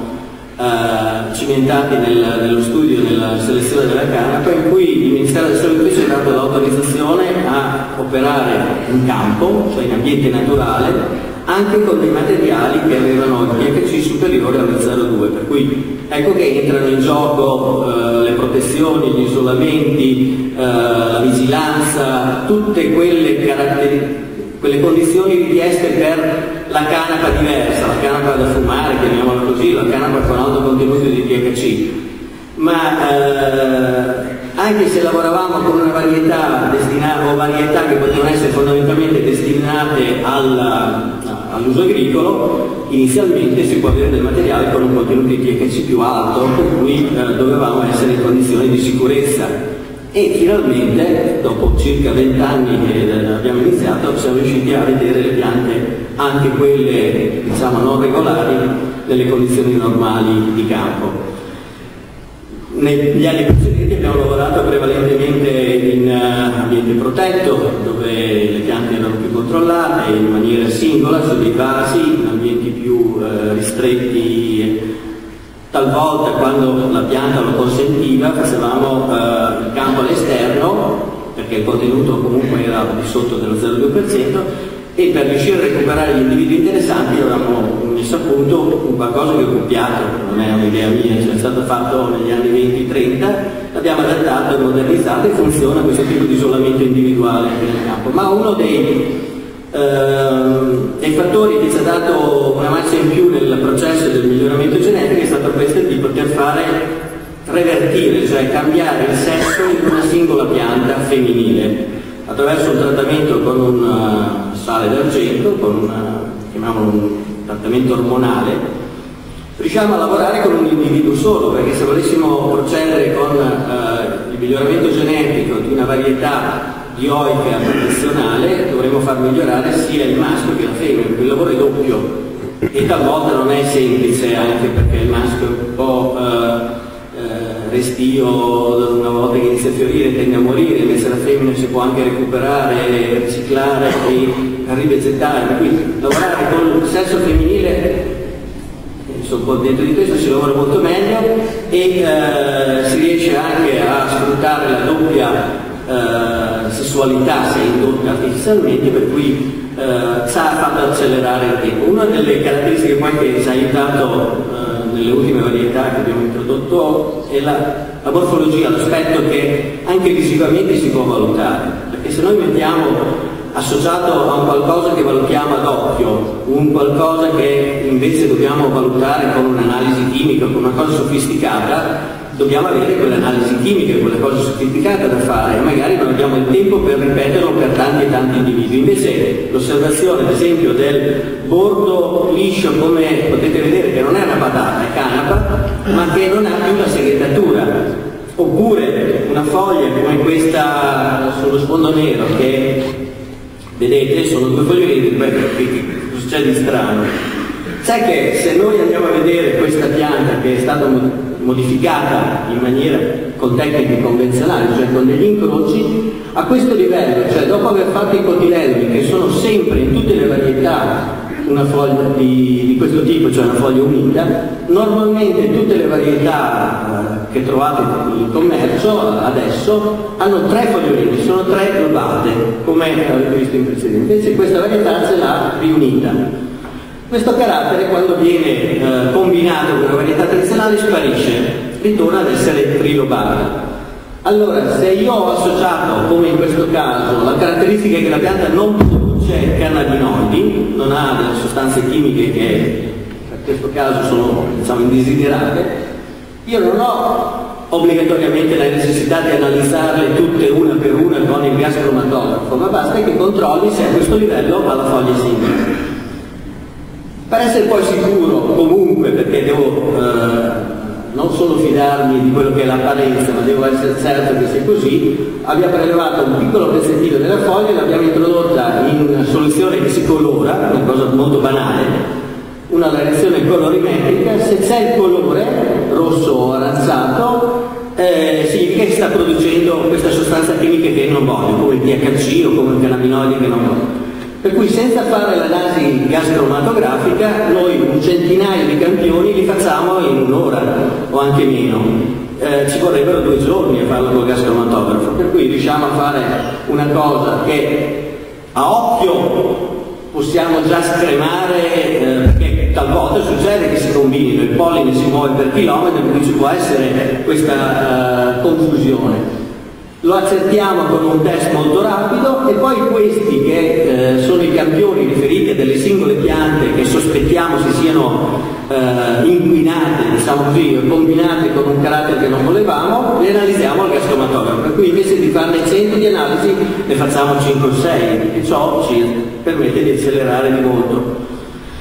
tecniche un po' sofisticate per arrivare a moltiplicare rapidamente le piante, le usiamo e si chiamano colture in vitro, eh, oppure la poliploidia, cioè facciamo assumere alla pianta una, una, una sua costituzione naturale che è diploide, cioè la pianta ha 20 cromosomi nel suo, nelle sue cellule, e attraverso un trattamento con la colchicina lo facciamo raddoppiare e otteniamo la, la, pianta tetraploide, 40 cromosomi. Beh, cosa serve? Intanto la, la, la, pianta è a disposizione il doppio eh, dei, eh, delle sue informazioni genetiche, ma poi ottenendo il triploide, cioè l'incrocio tra diploide e tetraploide, perché diventa proprio una, una un'operazione aritmetica, da 40 otteniamo 30 cromosomi. Questa è una, un'alterazione che scombussola la pianta la rende sterile in buona parte, il 90-95%. La sterilità significa non fare semi, Intanto non se la rubano attraverso il seme, ma poi il fatto che non produce seme produce altre cose interessanti come i metaboliti secondari, come i cannabinoidi, per cui la pianta triploide, che è stata usata poi in tantissime altre colture, come la vitola, come il girasole, altre piante, sono state sfruttate queste caratteristiche, queste potenzialità. Qua sono solo le componenti della canapa, per ognuna di queste si potrebbe agire nel senso di aumentare la dimensione, diminuire la,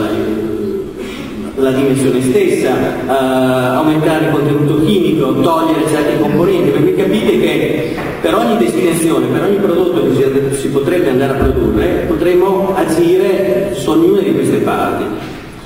o anche sulle composizioni stesse della, di come si, si, si trova la, la, pianta, in questo caso la parte fiorale, il fiore rispetto alle foglie o alla bacchetta. Nel seme c'è moltissimo da fare per i contenuti di acidi grassi essenziali, come ha accennato come ha spiegato benissimo il professor Appendino, i contenuti delle proteine, la, l'estraibilità, la, la, la, dimensione per ottenere il decorticato è fondamentale avere un seme più grande rispetto a uno molto piccolo. E ultimamente abbiamo verificato che anche semplicemente facendo germinare il seme si ottengono delle accumuli, delle produzioni da parte del, del seme di sostanze molto importanti come le canflamine che sono eh, molto attive nel, nel ridurre l'infiammazione, i processi infiammatori, per cui con la semplice germinazione, germinazione del seme per 4-5 giorni noi otteniamo un prodotto che i vegani, i vegetariani quotidianamente usano, ma noi potremmo allargare anche tutta la popolazione perché farebbe vivere molto meglio e molto più sani la, la nostra esistenza. Poi il discorso del cannabidiolo, CBD sta per cannabidiolo, è una cosa che è scoppiata l'anno scorso. Nell'ambito del progetto Multi-App noi abbiamo posto attenzione anche a questa molecola, analizzando tutte le 125 sessioni, una finito, e le abbiamo analizzate. La fortuna che abbiamo avuto, o perlomeno ci siamo resi conto che eravamo fortunati, che quelli con la sigla CRA sono tutte le varietà italiane, si collocano proprio nel rank e nella posizione più alta, oltre il 4,4%, diciamo così, e la, il top è l'asso. Ma comunque poi le abbiamo analizzate Ogni pallino è un individuo, l'abbiamo analizzato in vaso e possiamo vedere che si collocano, queste sono le nostre varietà italiane, Carmagnola, Fibranova, su tutti ci chiedono, in America eh, riceviamo decine e decine di richieste, si collocano tra il 3 e il 4% di CBD. C'è questa eccezione, che non è una varietà ovviamente italiana e chimica, però che va al 10% ma c'è una correlazione tra CBD e THC indissolubile, cioè se noi abbiamo il 5% di CBD che è già un buon risultato, abbiamo 0,16 e sta dentro al 0,2%. Ma se noi per esempio raddoppiamo con il miglioramento genetico e un tentativo l'abbiamo comunque fatto, abbiamo analizzato 180 quasi piantine allo stato giovanile e abbiamo ottenuto questa distribuzione di concentrazione del CBD noi presumiamo che selezionando queste incrementiamo ulteriormente. ma poi dopo ci troviamo con il problema che dal 16 magari andiamo al 0,3%. Cosa succede? Dobbiamo buttarla via dopo, perché non ce la lasciano coltivare. Per cui il discorso della nuova legge e dei nuovi valori entra in gioco soprattutto per questo discorso. La distribuzione di questo carattere è normale, cioè la forma di, delle classi di distribuzione delle concentrazioni dice che ci sono molti caratteri da mettere insieme, per cui c'è da lavorare, però chi ha avuto la possibilità di fare delle cose come ad esempio gli americani li hanno già fatti e stanno avendo un sacco di successo. Grazie di tutto, grazie ancora per essere intervenuti. Grazie. Io tratterò lo stato dell'arte della raccolta, meccanizzazione della raccolta della carpa e eh, facendo un breve riassunto della mia presentazione eh, vi dirò qualcosa su come veniva lavorata, raccolta nei, nei tempi passati e sulla raccolta della fibra, sia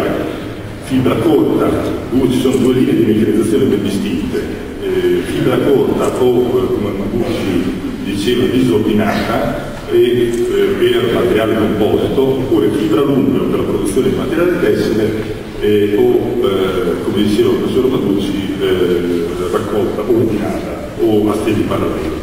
E poi delle macchine che stanno uscendo in questo ultimo periodo di raccolta combinata fibra seme.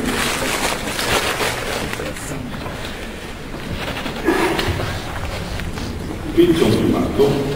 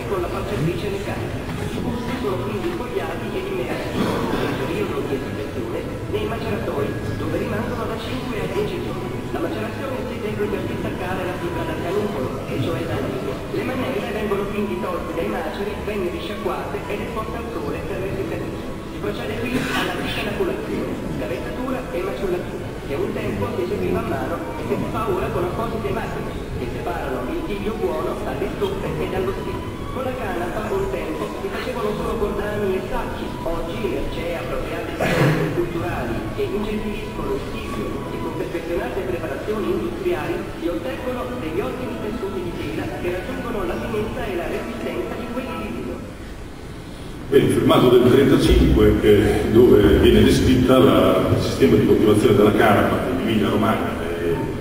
eravamo grandi produttori di canapa all'epoca, dove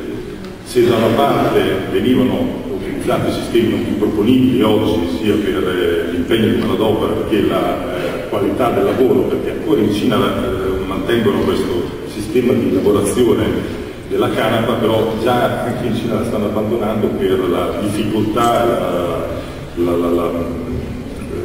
eh, la qualità del lavoro improponibile per lavorare all'interno del macero. Se da una parte eh, quel sistema è oggi improponibile, è improponibile anche perché una volta si, ci si focalizzava principalmente su un prodotto principale, mentre oggi la coltivazione della canapa può essere presa in considerazione solamente se viene affrontata nell'ottica della bioraffineria, come diceva il professor Bocci. Quindi i sistemi meccanici di oggi devono essere finalizzati, devono essere scelti in relazione alla tipologia dei prodotti che vogliamo tenere a valle.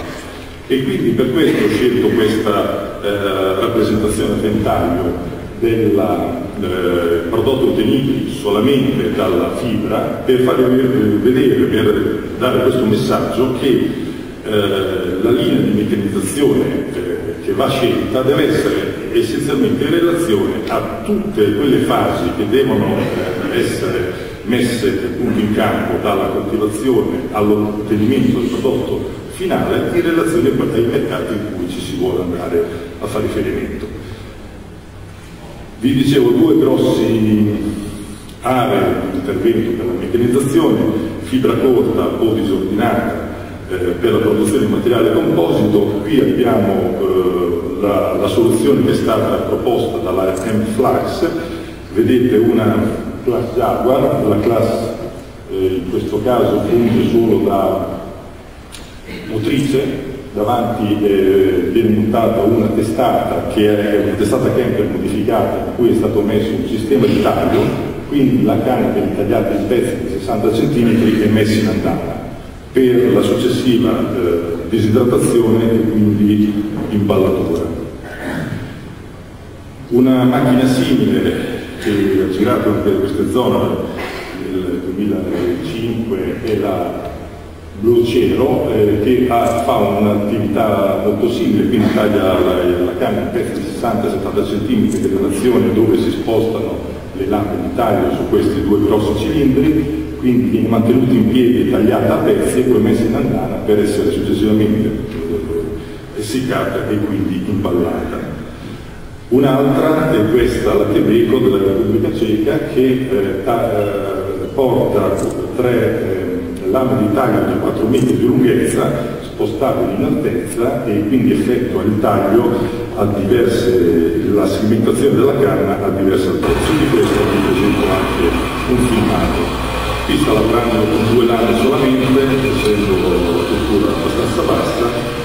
eh, questa macchina, a differenza delle altre, non crea un'andana ma lascia tutto campo.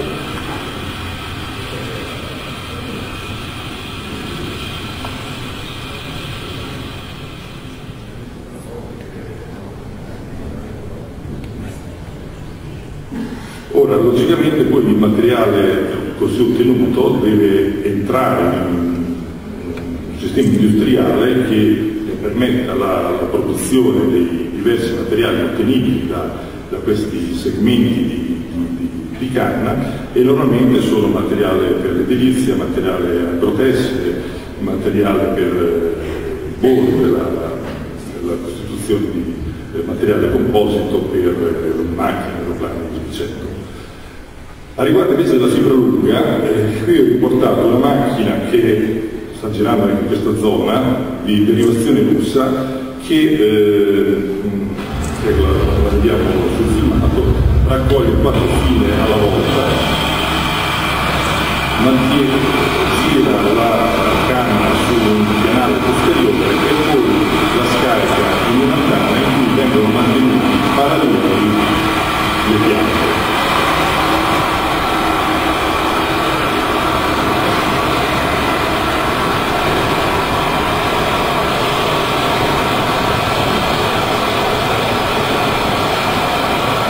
Come vedete in questo, in questo caso una, ogni pianta rimane parallela all'altra a differenza del sistema precedente.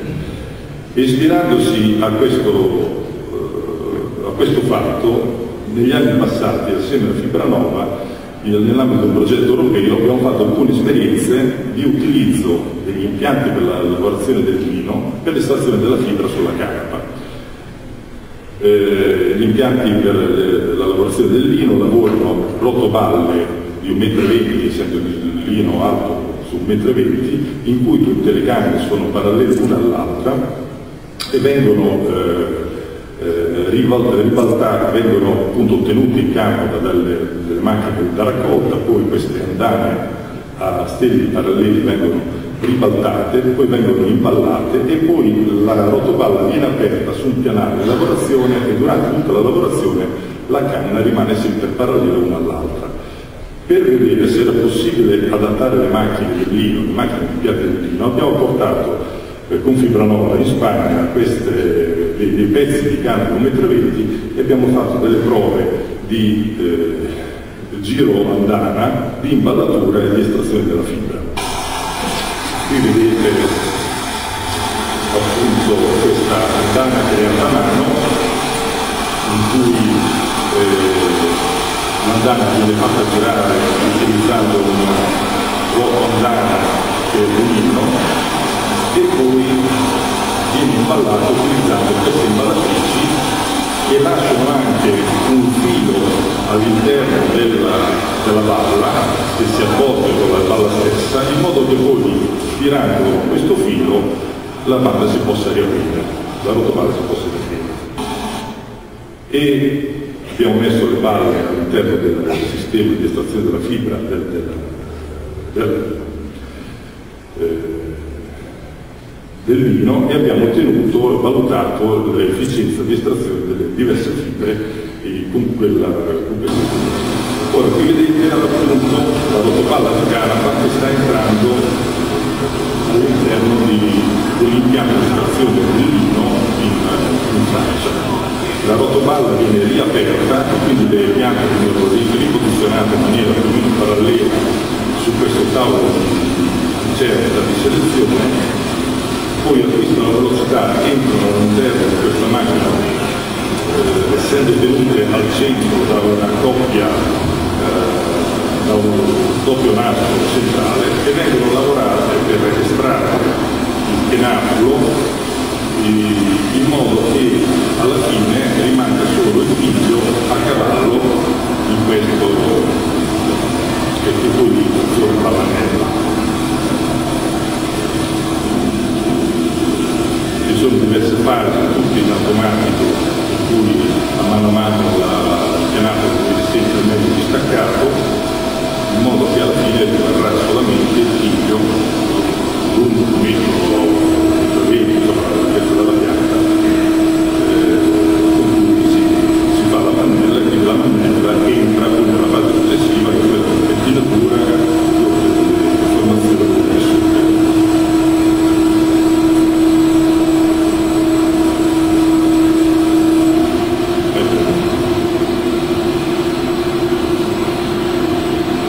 Quindi da una parte entra la pianta parallela, dall'altra parte esce la mannella che poi viene utilizzata nel piano l'essere.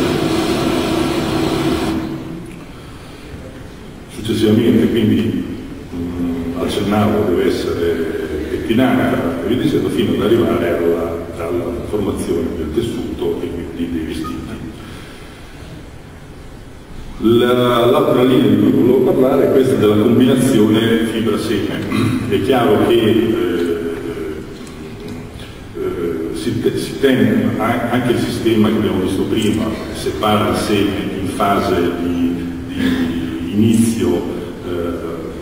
anche nel caso del lino, la- eh, il sistema industriale che abbiamo visto prima è in grado di contenere anche il seme nella prima fase dell'impianto, ma eh, ora si cerca di separare quanto più possibile le frazioni direttamente in campo per poi far prendere delle strade diverse ai prodotti ottenuti direttamente dal campo. In questo caso vediamo una macchina polacca che effettua il taglio della pianta, il ribaltamento funzionale, una l'estrazione della, della fibra attraverso un sistema di chiusura, l'imballatura, scusate, del seme, l'imballatura del seme, e quindi la formazione di matasse addosso di prodotto.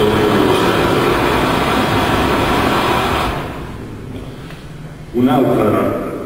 macchina, eh, meglio, questa è una modifica del sistema che vi ho presentato prima della Influx, cioè sempre sulla class Jaguar viene montata una testata eh, da Mieti Trebbia, portata a un'altezza regolata di 3-4 metri e quindi che scarica lateralmente in modo che eh, in campo si possa trovare un andare di steli tagliati in pezzi di 60 cm, eh, lasciati al centro eh, sotto ruote della macchina e lateralmente invece viene fatto cadere il prodotto, questo qui, che poi si ritrova qua, il prodotto derivato dalla, dal taglio della, ad opera della testata da Mietrebbia. L'ultima è questa, che eh, monta sempre lo stesso sistema di taglio di cui vi accennavo prima, quindi testata Kemper con eh, quel grosso rotore per effettuare il taglio del, dello stelo, ma invece di essere montato su una, su, su una trice mais viene montata su una mititrebbia sulla quale viene montata eh, poi una, una testata che si collega al canale di alimentazione della mititrebbia per caduta e quindi eh, avviene sia la trebbiatura che la formazione dell'andare dello stelo nello stesso tempo.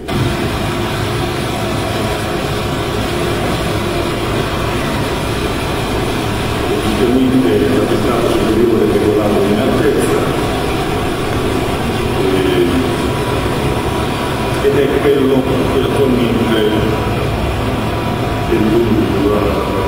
quanto io sappia diciamo, l'ultima evoluzione del sistema di raccolta combinata sede materiale eh, isopinato. Questa ditta è olandese e ha spostato recentemente la coltivazione da Olanda in Romania. Infine, eh, quest'altra soluzione ad un agro, eh, ne accennava prima anche il professor Amaducci, viene montata su una clax di seppio e anche in questo caso abbiamo davanti un sistema di taglio della, eh, della canna eh, molto simile a quello visto precedentemente, ma invece di avere una testata di trebbia eh, superiormente ha una stripper, ha una stripper che quindi eh, taglia strippa la parte apicale, quindi semi e foglie, e questo prodotto viene scaricato poi su un eh, carro portato sul trattore stesso. Quindi una cantieristica molto avanzata, eh, idonea per investimenti in termini di ettari eh, di una certa rilevanza. In conclusione, cosa ho voluto cercare di trasmettere in questa insieme di immagini? Eh, due concetti. Uno che la canna potrà essere coltivata solamente se riusciremo a valorizzare tutte le frazioni ottenibili dalla pianta e quindi eh, le frazioni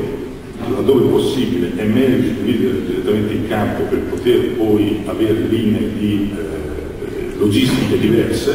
perché ogni operazione avrà problematiche di compattamento, situazione, eh, stoccaggio eh, singole della, della, propria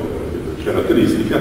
L'altro messaggio che cercavo di eh, trasmettere è che le esperienze sia in Italia che all'estero sono state tantissime sulla canapa, quindi c'è la possibilità di mutuare su nuove realtà un eh, ventaglio di esperienze adattabili come stato fatto fino adesso e quindi le persone che si eh, entrano in questo argomento della carpa che è affascinante, prima di fare investimenti dovrebbero eh, studiarsi attentamente tutto quello che è stato fatto negli anni passati, perché eh, specialmente sulla meccanizzazione c'è una eh, marea di attività che è stata svolta. Grazie. Buongiorno a tutti. Eh, Prima mentre ascoltavo gli altri relatori mi veniva un po' da sorridere perché eh, non più di qualche tempo fa io ero seduto lì in mezzo a voi e, e come voi avevo, avevo, partecipato a un incontro sulla canapa eh, dove parlavano altre persone e, ed era il primo, il primo incontro in cui sentivamo parlare di canapa. Siamo rimasti affascinati da questo primo incontro eh, perché la canapa ci veniva descritta come una pianta miracolosa, e, perché come il maiale eh, non si butta via niente, viene utilizzata per eh, fare sia fibra che ha diversi utilizzi come abbiamo visto dalle precedenti presentazioni, le, con le foglie si fanno degli estratti, dei tè, delle tisane, col carapulo si producono dei prodotti per la bioedilizia, e con i semi eh, si fa dell'olio, della farina e dei prodotti da forno. Quindi una pianta miracolosa, talmente miracolosa che io e il mio amico e oggi socio che abbiamo partecipato a questo incontro siamo stati degli stupidi a non coltivarla. E così è stato. La pianta ci veniva descritta come autodiservante, non ha bisogno di pesticidi, migliora il terreno, non richiede molta acqua e ha un ciclo di CO2 positivo. Tutte cose vere, ma eh, in realtà eh, non è la pianta di miracoli. Se qualcuno, io non so quali siano le motivazioni che vi hanno spinto a venire a questo incontro, qualcuno di voi probabilmente è semplicemente per curiosità, qualcun altro pensa o sta già eh, utilizzando la canapa all'interno del proprio business. Noi eh, lavoriamo con questa coltivazione soltanto da tre anni, quindi siamo, se volete, gli ultimi arrivati. Ma la prima eh, domanda che siamo posti è se effettivamente è la pianta dei miracoli, se effettivamente ha tutte queste possibilità, non si butta via niente, perché nessuno la coltiva? Perché non è stata eh, diffusa negli ultimi anni? Allora, a questa risposta Scusate, questa domanda eh, ci sono due tipi di risposta. Un, un, problema che in parte è stato eh, affrontato dal dottor Grassi eh, di tipo normativo, ovvero eh, le leggi negli ultimi anni sono andate via eh, diciamo a chiedersi, però fino a qualche anno fa eh, chi decideva di diventare canapa in qualche modo perdeva un rischio. Oggi questa cosa è in parte risolta. E questo è metà della risposta, perché l'altra metà della risposta che ci veniva presentata a questo incontro è eh, la mancanza di impianti di trasformazione, ovvero la canapa non viene coltivata perché gli agricoltori che la coltivano a chi la danno? Cosa le fanno? Perché se non ci sono centri di raccolta e centri di trasformazione, uno eh, tiene le rotoballe in campo, i semi nel granaio e non se ne fa niente. E quindi eh, abbiamo deciso di eh, cogliere questa sfida e di trasformare la, la, la, canapa in una realtà industriale e quindi di creare un centro di raccolta che potesse eh, dare modo agli agricoltori all'interno di una certa area, di un certo territorio più o meno di 50 km di radio, di eh, coltivare e avere qualcuno che ritirasse il prodotto. Noi non abbiamo terra e quindi sapevamo che avremmo dovuto rivolgerci a, appunto agli agricoltori, a aziende zootecniche, aziende agricole e altra gente che avesse questa disponibilità. Però non potevamo rivolgerci a queste persone senza prima aver fatto un'esperienza diretta, cosa, cosa potevamo raccontare a queste persone? Non, non avevamo mai coltivato canapa, veniamo da un'altra esperienza che è un'esperienza di tipo meccanico e, e pur avendo origini eh, diciamo contadine e quindi decidiamo di fare la nostra prima esperienza. Coltiviamo tre ettari, qui vedete una foto del primo anno e subito scopriamo che, come hanno detto prima gli altri relatori, le uniche varietà disponibili realmente in quantità sono delle, varietà francesi, che in particolare vengono prodotte alle mani e in questa, in questa, diapositiva vedete la distanza che separa le Manda Veneto e quindi capite eh, molto bene anche voi che delle varietà selezionate in un'altra regione, con altri climi, con altri fotoperiodi, eh, anche a buon senso, non possono essere eh, propriamente adatte al nostro, al nostro territorio. E ad ogni modo è l'unica disponibile, quindi decidiamo di proseguire con questa, con questa varietà. Abbiamo qualche problema in semina, come vedete, queste sono le foto del primo anno eh, di attività, stiamo parlando del 2013. E la canapa nasce rada, crescono anche delle infestanti, eh, perché comunque la pianta, eh, la semina viene fatta in maniera tardiva per cercare di tenere la pianta molto bassa e quindi per facilitare la raccolta del seme poi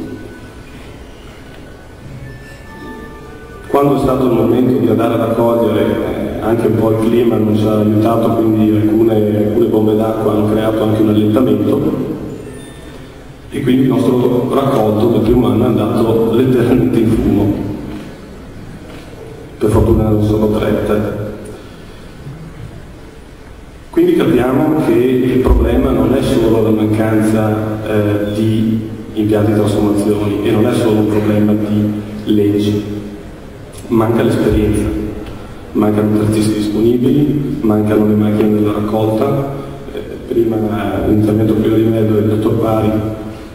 eh, raccontava che in Europa sono state fatte diverse simulazioni, sono diverse macchine, diverse ipotesi, però io che ho girato negli ultimi tre anni in Europa vi assicuro che nessuna di queste eh, è realmente industrializzata, sono eh, per lo più prototipi, qualche grossa azienda come l'Emplex eh, piuttosto che la Lunaro hanno investito eh,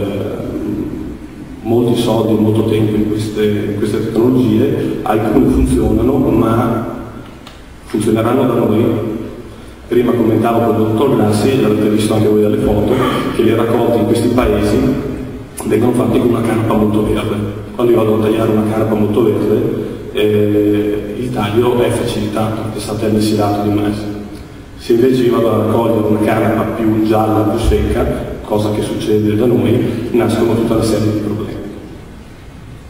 E poi appunto mancano gli piani di trasformazione che possano raccogliere il prodotto e non solo, mancano anche i piani di essiccazione e i piani di pulizia del seme adeguati, perché la maggior parte degli impianti di essiccazione che noi abbiamo qui in zona sono impianti di essiccazione diciamo, per mais e quindi per altri tipi di colture o per soia e non sono adatti alla canapa. E la canapa va essiccata a bassa temperatura per periodi molto lunghi e, ed è un seme che si comporta in maniera molto diversa. Quindi decidiamo di risolvere questi problemi, capiamo che dobbiamo strutturarci, capiamo che dobbiamo fare anche degli investimenti. Nasce EcoEmp l'anno dopo, siamo nel 2014. Eh,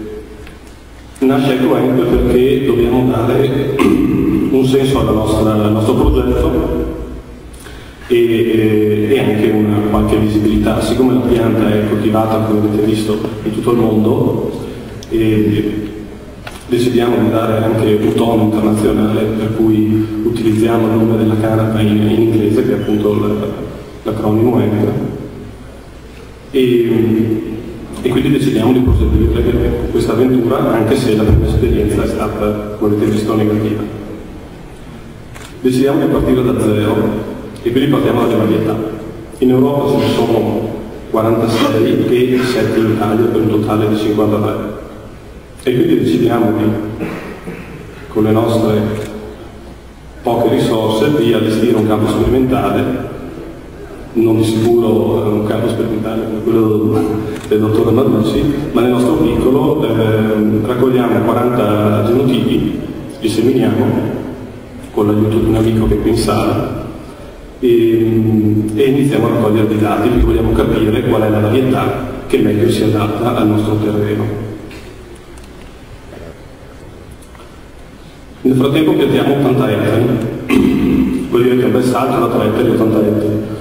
In realtà eh, da, dei conti che abbiamo fatto eh, il break-even viene raggiunto attorno ai 3-500 ettari, quindi sotto questa cifra non ha senso di parlare di impianti di prima trasformazione. Questa ovviamente è la nostra visione. Piantiamo questi 80 ettari e la semina va bene, abbiamo eh, implementato, abbiamo capito dove avevamo sbagliato, la pianta è una pianta robusta, quindi cresce praticamente da sola. Arriviamo alla raccolta e iniziano i primi problemi, perché la pianta cresce, è una pianta alta, non esistono macchine per la raccolta al di là dei prototipi che appunto ha presentato prima il dottor Parri, eh, in Italia si utilizzano macchine tradizionali e ognuno cerca di, eh, dire, di adattarle alle, alle, proprie, alle, proprie, necessità. Eh, quello che abbiamo visto è che quando resta abbastanza bassa si raccoglie il seme, quando invece cresce troppo si sfalcia tutto e si raccoglie la bacchetta. Questo è incompatibile con un'attività di tipo industriale, perché io se devo industrializzare un prodotto devo decidere prima cosa fare, non è che posso adattare eh, la raccolta al tipo di, di pianta che, che, che mi trovo a settembre. Nonostante questo, ehm, con eh, l'aiuto anche di alcune persone, in particolare di alcuni terzisti, che si sono resi disponibili a investire tempo e risorse in questo in questo nostro progetto siamo riusciti a raccogliere direi l'80% dei, dei campi che abbiamo seminato. un 20% è andato perso per n motivazioni, tra cui la mancanza di persone che si rendessero disponibili alla raccolta, qualche fattore climatico e, e qualche campo dove appunto eh, era stato piantato troppo tardi e quindi le infestanti avevano eh, vanificato un po' il discorso del, del raccolto. Nel frattempo costruiamo degli essiccatoi perché dall'anno prima avevamo capito che non ce n'erano disponibili in giro e quei pochi che c'erano erano già impegnati su altri fronti, su altre colture. Quindi costruiamo degli essiccatoi, costruiamo dei pulitori e costruiamo un prototipo per un impianto di prima trasformazione. Queste sono alcune foto degli essiccatoi e dei pulitori che abbiamo improntato per far fronte al problema che avevamo vissuto l'anno prima. Siamo nel 2014 e capiamo che eh, quello che manca è la filiera, cioè manca tutto fondamentalmente, manca l'esperienza, d'altra parte noi non l'abbiamo coltivata, salvo qualche, qualche appassionato diciamo, per, per 50 anni. Eh, al contrario di noi, altri posti tipo la Francia e l'Ungheria hanno sempre continuato a coltivarla, hanno anche sviluppato, come abbiamo sentito, diverse varietà. Capiamo che se vogliamo effettivamente riportare la canapa e portare avanti il nostro progetto, non possiamo semplicemente limitarci a fare dei contratti con gli agricoltori di ritiro del prodotto, ma dobbiamo anche supportarli. Dobbiamo dargli l'assistenza, dobbiamo dargli non solo l'assistenza dal punto di vista agronomico, ma anche eh, l'assistenza alle meccanizzazioni, perché è pensabile che l'agricoltore che magari pianta 10-20 ettari eh, possa avere la forza finanziaria di investire in una macchina specifica per la canapa, perché di questo si tratta. Raccogliere la canapa con le macchine tradizionali è possibile solo in determinate condizioni. E la meccanizzazione non si è sviluppata perché non si è sviluppata la cultura, quindi se volete un po' eh, se la domanda si è errata prima l'uovo o la gallina. E quindi capiamo che dobbiamo investire nella filiera, quindi continuiamo con le sperimentazioni, decidiamo di costruire delle macchine perché quest'anno passeremo da 80 a 160 ettari e quindi non possiamo sbagliare. Già da qualche mese abbiamo iniziato questa appunto, attività per avere delle macchine specifiche per raccogliere sia il seme la bacchetta, perché l'altra cosa di cui ci siamo eh, accorti diciamo, è che eh, raccogliendo entrambe le porzioni della pianta eh, si riesce ad avere anche una soddisfazione economica per l'agricoltore. Diversamente è abbastanza difficile. Decidiamo di fare un centro di raccolta a Rovigo, che eh, sarà attivo nei prossimi mesi, perché eh, l'area di Rovigo è un'area eh, diciamo, interessante perché ci sono terreni disponibili, ci sono terreni, eh, molti terreni biologici e, e, noi per quanto riguarda il seme abbiamo deciso di puntare su del seme biologico. E quindi assieme a diversi collaboratori, tra cui appunto terzisti e altre aziende, eh, stiamo portando avanti questa, questo progetto, mh, mm, meccanizzare le operazioni più difficili sono quelle di raccolta, mentre per quanto riguarda l'assicurazione e la polizia lo abbiamo già fatto l'anno scorso con anche ottimi risultati e questo perché eh, soltanto lavorando assieme pensiamo che si riesca a ottenere dei buoni risultati. Vi voglio lasciare questa immagine che richiama, se vedete un po', un cuore fatto di, di pezzi di meccanica, perché eh, la meccanica è la nostra esperienza, ma eh, se non si mette passione nelle cose non si va da nessuna parte. Eh, mio padre mi ha sempre detto di non, di non innamorarmi del business, con la canapa di sicuro è molto difficile perché è una pianta veramente affascinante, però è anche vero che se non saressimo messo passione non saremmo qui oggi, io non sarei qui a raccontarvi queste cose e probabilmente non, non pianteremo 160 ettari quest'anno, per cui bisogna credere, bisogna investire non solo il tempo e il denaro, ma soprattutto essere determinati a raggiungere l'obiettivo. Grazie. Innanzitutto ringrazio per questo invito e devo dire che effettivamente eh, se, avendo fatto il primo anno di, Università Bologna, io sono figlio del, del preside dell'Istituto Caro di Verona allora, e venivo ovviamente in treno e durante il periodo che eravamo vicino a Bologna avevamo il momento in cui c'era la,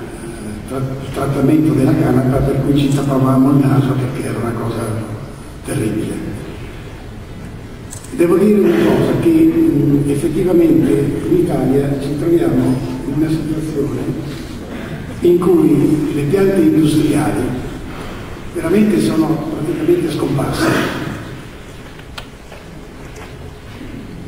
Oltre alla canapa è scomparso il lino. Io mi ricordo mio nonno che era un agricoltore della Bassa Bresciana di Pizzolo d'Olio, andavamo, mi portava a misurare ogni settimana quanto cresceva il lino il ricino, non si coltiva più, cartamo, il sesamo tra le orecchie, il lupino, cece, la fava, il fagiolo dall'occhio, il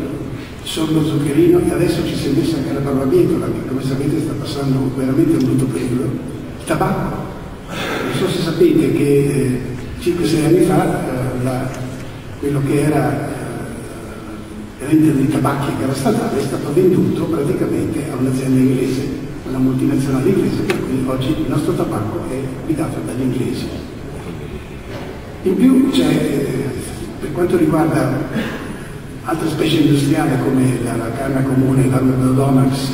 il bambù miscanthus che sono state utilizzati in modo particolare, tentate di utilizzare dall'Enea eccetera eccetera, sono praticamente non utilizzate. Qui ci troviamo in una situazione per cui veramente eh, diciamo, la, la, la parte di, di specie industriali non si fa più. La Canada potrebbe essere l'inizio di un riavvio. Non dimentichiamo che l'Italia era la seconda produttrice mondiale della canapa 50 anni fa, dopo la Russia. Oggi siamo a praticamente zero. E le cause?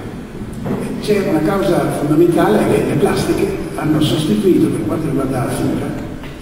in modo particolare hanno sostituito i cordani, eccetera, i tessuti, eccetera, eccetera, in cui prima la Canada era una delle possibilità. Secondo, è il problema eh, della, della, cannabis, cioè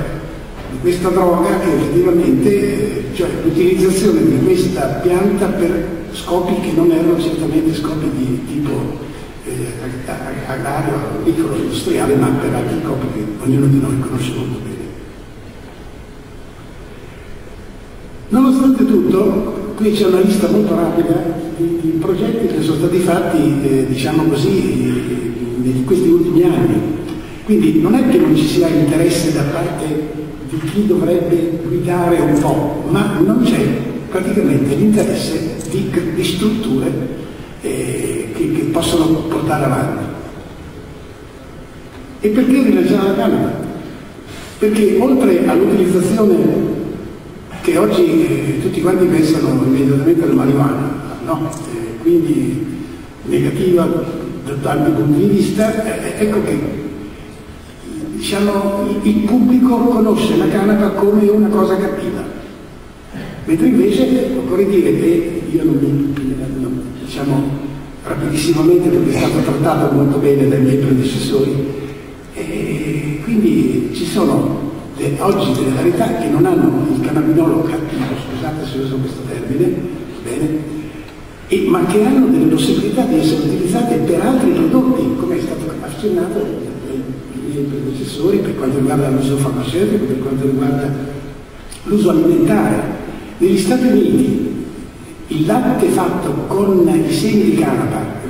si può fare anche in casa, Basta prendere i semi, spogliarli evidentemente, metterli dentro nell'acqua, dopodiché tenerli per qualche ora nell'acqua, dopodiché metterli in un, in un mixer, in un eh, battitore, insomma, no? Poi filtrare il latte che viene fuori, cioè la, diciamo la sospensione bianca che viene fuori, ha un potere alimentare superiore a quello del, buco, del latte di bocca, proprio per le caratteristiche che voi avete già sentito che riguardavano sia i lipidi, sia le proteine, sia diciamo così in senso generale. E vi posso dire un'altra cosa, che per esempio io in casa mi sono fatto anche lo yogurt, va bene, con questo, e c'è la possibilità di fare anche dei, dei formaggi spalmabili. Cioè c'è tutta una serie di, diciamo, di sviluppi che dovrebbero essere molto interessanti e, e a parte l'uso farmaceutico che, come dico, in alcuni casi veramente ha degli effetti estremamente importanti, estremamente, ancora non ben conosciuti. Quindi i famosi cannabigerolo, cannabidiolo, proprietà farmacologiche, anche interessante la cosmesi. Non so se eh, sapete, ma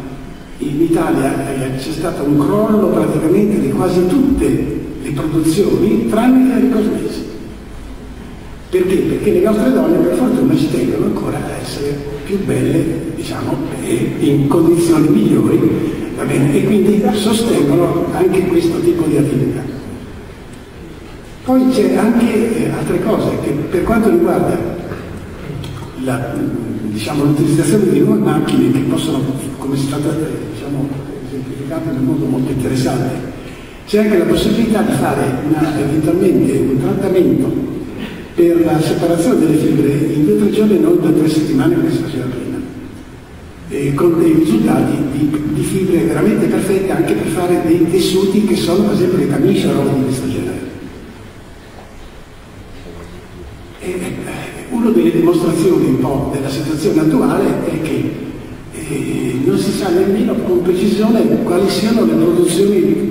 cioè quanti terreni sono coltivati oggi in Italia, perché le diverse associazioni danno anche delle cifre diverse, eccetera, ma si tratta sempre di qualcosa di molto molto modesto, un migliaio, si pensa grosso modo un migliaio di ettari, insomma, di fronte ai 100.000 che c'erano prima, immaginate. Insomma.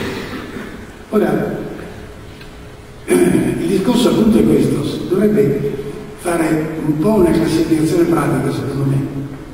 basata nei tipi in cui si usa la parte vegetativa, cioè sulle foste, le foglie, e quindi si possono usare tipi monoici e dioici, e quelli in cui, siccome la parte di semi, la parte riproduttiva, evidentemente è molto meglio avere tipo monoico, cioè che nella stessa pianta hai sia i fiori maschili sia i femminili, perché in questo caso il 100% delle piante producono semi, mentre quelle dioiche, le piante maschili, ovviamente non producono semi. E quindi eh, il discorso anche eh, per quanto riguarda un po' le caratteristiche, eh, la produzione di biomassa, intendendo le pacchette, dovrebbe arrivare almeno a qualche, al livello, così è stato detto dal nostro amico e collega Grassi, almeno 100 quintali per ettaro i pacchetti, il che evidentemente diciamo, è un, un limite in cui, in cui dovremmo tener conto. Scusate. Vabbè, hanno per l'uso farmacologico, l'abbiamo visto, l'uso cosmetico, l'abbiamo visto, obiettivi futuri. Ora, qui c'è da dire una cosa, che effettivamente uno dei problemi che è stato accennato qua è quello degli obiettivi futuri. Qui abbiamo visto anche dalle presentazioni del mio predecessore come si cerchi ancora di identificare le problematiche perché essendo una situazione praticamente di non conoscenza di diversi processi e di diverse delle possibilità che ci sono, eccetera, eccetera, evidentemente c'è da costruire tutto. Io mm, dico la verità, sono rimasto molto colpito, molto ammirato da quell'iniziativa eh, del mio predecessore, perché almeno anche in Italia troviamo delle persone che stanno cercando di risolvere un problema che le istituzioni non sono in grado di per ora di risolvere. E questa è una cosa che secondo me non sta nel cielo in terra, scusate se, ma... Eh. Ora, c'è un discorso molto semplice, è evidente, secondo me, che oltre a, avere il supporto del, del, CRA con le banche del germoplasma, con le varietà che hanno prodotto, eccetera, eccetera, che possono contribuire all'inizio della fase, eh, noi dobbiamo metterci in testa che se non si arriva a una collaborazione tra il MIPAF, le regioni, gli agricoltori, gli operatori dei vari settori, eccetera, eccetera, non andiamo da nessuna parte. Ora, uno dei problemi grossi, secondo me, che abbiamo è stata la decisione, ma io dico questo perché avendo una certa esperienza a livello mondiale, l'Italia è l'unico paese che ha dato l'agricoltura alle regioni. In tutti gli altri paesi del mondo l'agricoltura è data in mano allo Stato. Ma questo è un discorso che esula evidentemente da... ma come italiano ritengo opportuno capire io ho un amico che ha metà del suo podere in Umbria e metà in Toscana. Beh, mi dice che se dovesse seguire dovrebbe fare due cose diverse, perché le priorità sono state stabilite in modo diverso. Ora, se c'è una cosa a questo mondo che è importante, io mi sono trovato in una riunione in cui eh, ero l'unico agronomo e a un certo momento eh, parlavano di alimentazione, eccetera, eccetera. Dico, ma guardate, ma siete convinti che noi ci troviamo oggi in una situazione in cui in Italia, se dovessimo mangiare quello che facciamo noi, avremmo nemmeno il 50% di quello che necessita? Va bene? Per latte, eh, uova e carne avremmo nemmeno il 20% con i regimi prodotti in Italia. E questi mi dissero, eh, ma insomma noi veramente cosa possiamo comprare fuori? Beh, ho detto, abbiate pazienza, qui credo siamo tutti cristiani.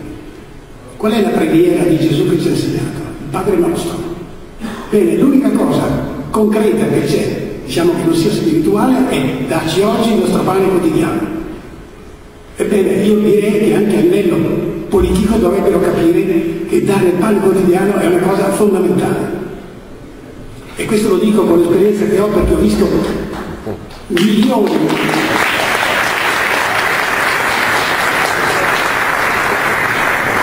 visto nei paesi di sviluppo milioni di persone che muoiono di fame ancora.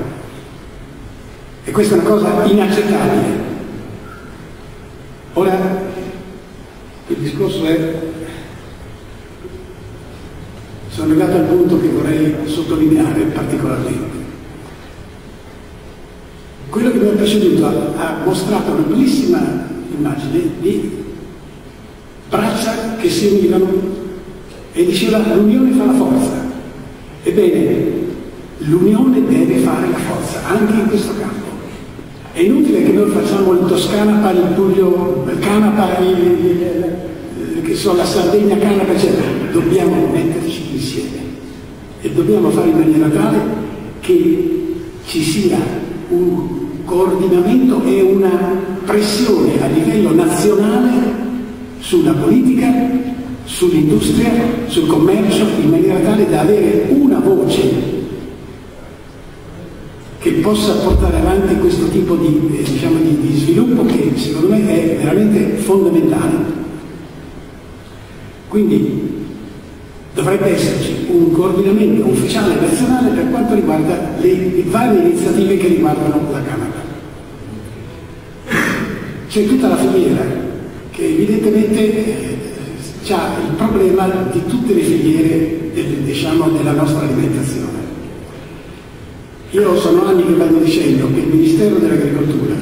che oggi fa da tramite soltanto tra le decisioni europee e quelle delle regioni, dovrebbe essere un Ministero che, che tratta la produzione, la trasformazione industriale dei prodotti alimentari e la commercializzazione. È assurdo che l'agricoltore abbia da un chilo di grano che produce circa 25, 27, 28 centesimi, con un chilo di grano sta un chilo di pane. Come mai con solo due passaggi, cioè il molino e il fornaio, aumenta minimo di 10 volte? E chi ci rimette sono gli agricoltori e i consumatori, perché si infilano dentro tanti altri che praticamente fanno sì che aumenti il costo di ogni cosa. Ora, secondo me il cibo è una questione fondamentale. Guardate, tutte le rivoluzioni, quella francese, quella russa, quella cinese, che sono le più grandi del mondo, sono venute fuori per fame. Questo non dovremmo mai dimenticarcelo. Perché quando si arriva al fatto di non avere da mangiare, e io posso dire una cosa, e avendo avuto 13 anni quando finiva la guerra, va bene, e noi non sapevamo se stasera potevamo mangiare qualcosa, non sapevamo allora se papà tornava dalla guerra, vivo o morto, non sapevamo se la casa era bombardata oppure no. Bene, era tutta una serie di insicurezze, diciamo così, che evidentemente incidevano in un modo straordinario, anche su un ragazzino come me che aveva 13 anni quando è finita la guerra. Ora dico, io ho visto, sono stato in almeno un centinaio di paesi diversi, va bene, nella mia vita, ma in campagna, non nelle spiagge, va bene, e ho visto come anche i più poveri sono i più generosi. ti offrono quel poco che, non vi dico quello che ho mangiato io, in alcuni posti perché sennò qualcuno di voi ti si rizzano i capelli. Ho mangiato eh, la proposta dell'elefante, la coda del coccodrillo, ho mangiato i ratti, ho mangiato, eh, lasciamo perdere, va bene, ho mangiato il leone, insieme con dei prodotti, come dicevo, in cui effettivamente, però un, un, poveraccio morto di fame, si può dire, che ti offriva quel poco che avevi, cosa facevi? Lo rifiutavi? Bene, io ritengo che effettivamente se noi non ci mettiamo in testa di riunire tutte le persone di buona volontà che sono in tutto il paese, nelle varie regioni, e cerchiamo di mettere in piedi un qualche cosa che funga da tramite nei confronti dei governi, nei confronti delle regioni, nei confronti della popolazione, anche perché purtroppo devo dire che io ho fatto una piccola indagine tra diciamo, gli amici che avevo. Quando parlavo di canapa tutti quanti hanno una, vorrei dire il 99% hanno una concezione completamente sbagliata. Cioè la canapa è da marijuana, punto, a capo. Ora, questo è una cosa che secondo me è intollerabile. Occorre fare una campagna in questo senso in maniera tale da far capire alla gente che non è una cosa così terribile. D'altra parte, io diciamo, voi sapete meglio di me che tutte le medicine hanno delle controindicazioni, quasi tutte. Evidentemente se uno ne prende troppe o ne prende male, fanno più male che bene. Ora è chiaro che nel caso della canapa avremo molti vantaggi, avremo molte possibilità a livello di produzione, a livello di trasformazione, a livello di utilizzazione di questi, di questi, prodotti eh, nei vari settori che abbiamo visto e quindi la possibilità di avere un qualche cosa che fa del bene al nostro Paese. Grazie.